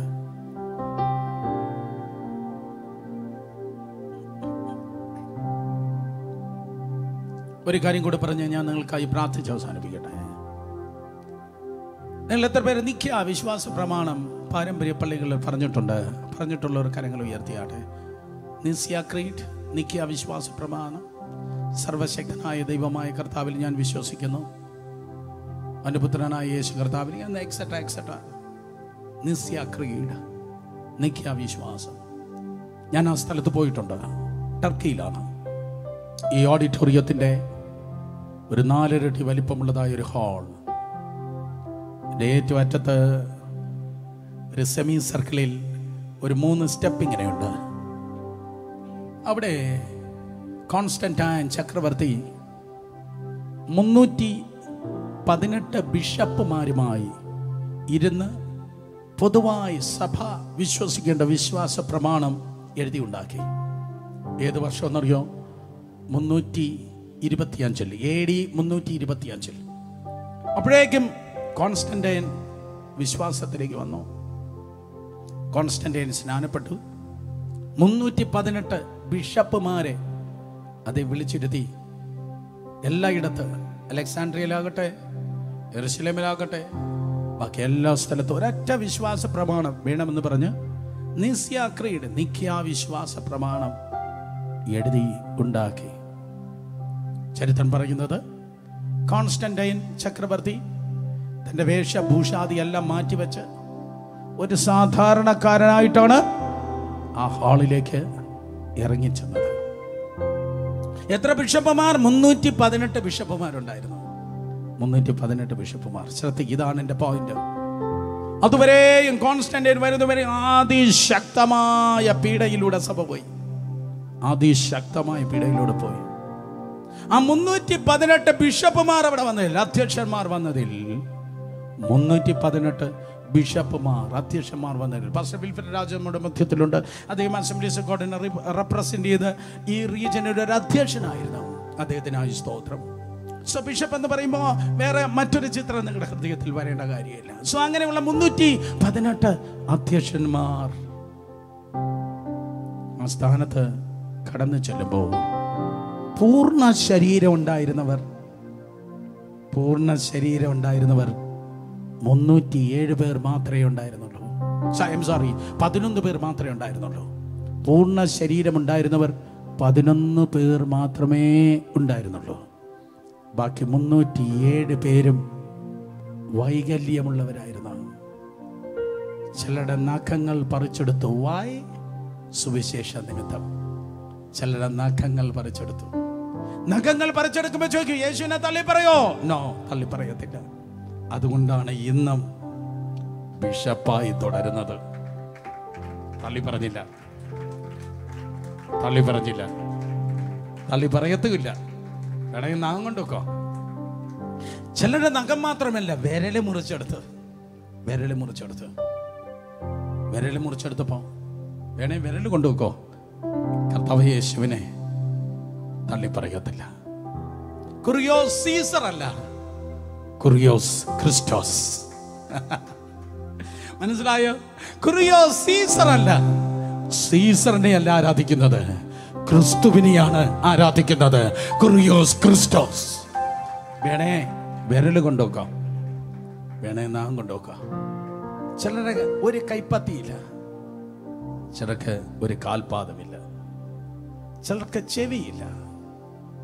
വേറെ ചില ബിഷപ്പന്മാർക്ക് കണ്ണില്ല.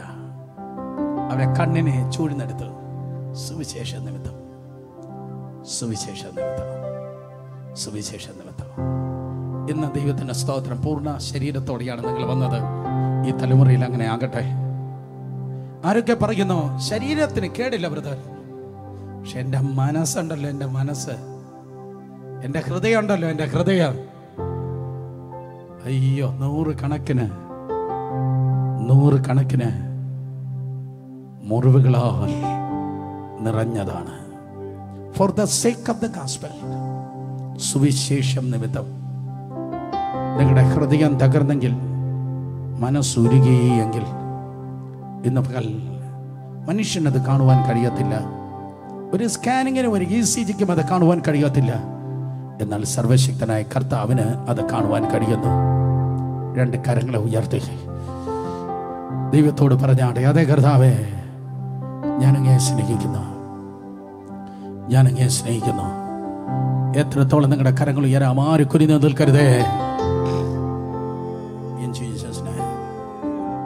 ശക്തിയായി. വായികളെ തുറന്ന് പ്രാർത്ഥിച്ചു. താങ്ക് യു ജീസസ്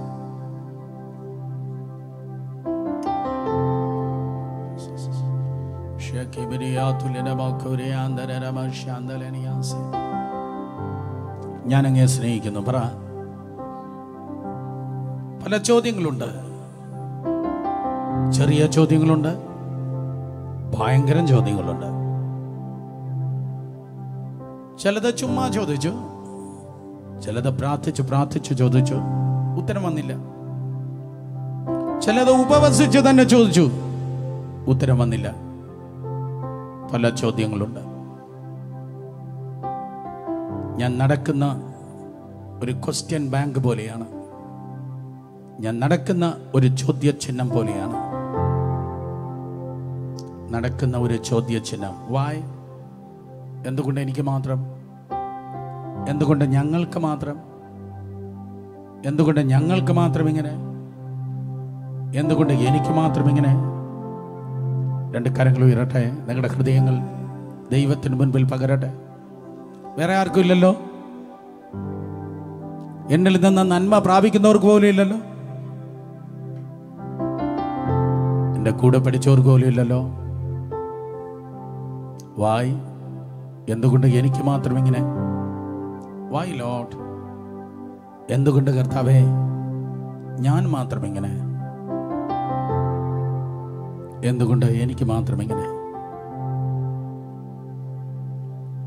തമ്പുരാൻ പറയും വേറെ ആർക്കുമില്ലാത്ത വലിയൊരു പദ്ധതി വേറെ ആർക്കുമില്ലാത്ത വലിയൊരു ടാസ്ക് വേറെ ആർക്കുമില്ലാത്ത വലിയൊരു നിയോഗം വേറെ ആർക്കുമില്ലാത്ത വലിയൊരു അഭിഷേകം വേറെ ആർക്കുമില്ലാത്തതായ വലിയൊരു നിക്ഷേപം വേറെ ആർക്കുമില്ലാത്ത എന്തോ ഒരു ദൈവകൃപയുടെ വ്യാപാരം വിശ്വസിക്കുന്ന ഒരു ശബ്ദം ഉയർത്തി ആമേൻ പറഞ്ഞു.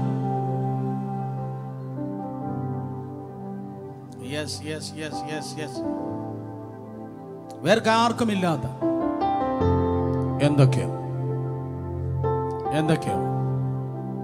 എന്തൊക്കെയോ. പക്ഷെ എന്നും ചോദ്യങ്ങളല്ല.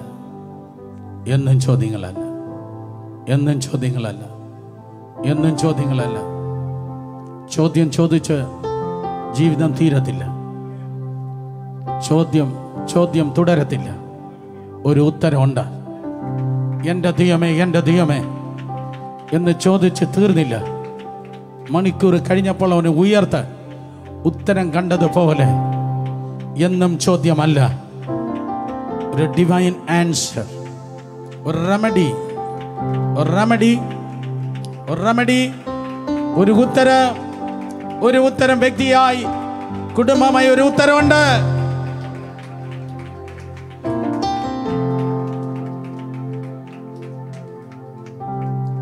ഏക ഉത്തരം ക്രിസ്തു. കർത്താവാണ് നിന്റെ ഉത്തരം. അരുമി ചാനലിൽ നിന്ന് പുറത്തു പോകലെ രണ്ട് കരങ്ങളെ ഉയർത്തി ഉത്തരങ്ങളെ കണ്ട ദൈവത്തെ സ്തുതിച്ച്. വിശ്വാസത്താൽ നിങ്ങളുടെ ഹൃദയ കണ്ണുകൾ തുറന്നു. விசுவாசத்தால் உத்தரங்களை கண்டாட.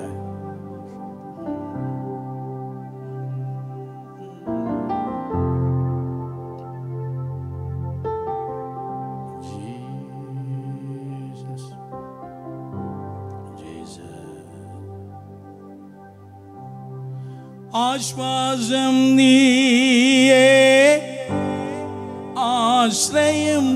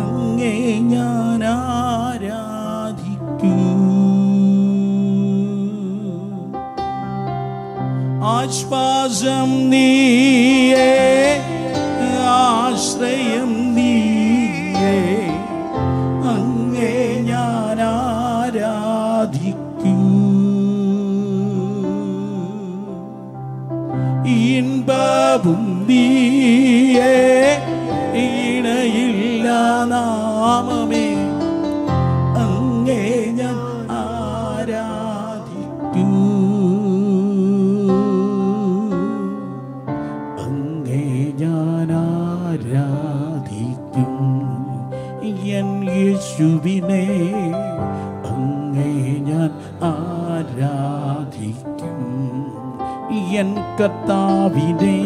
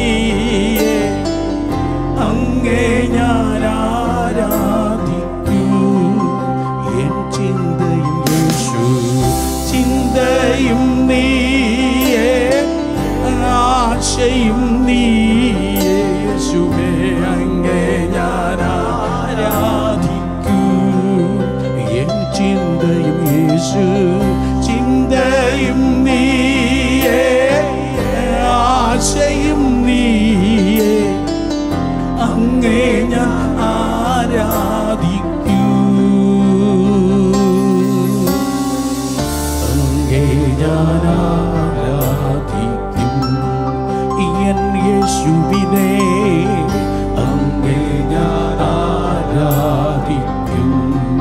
ഇയൻ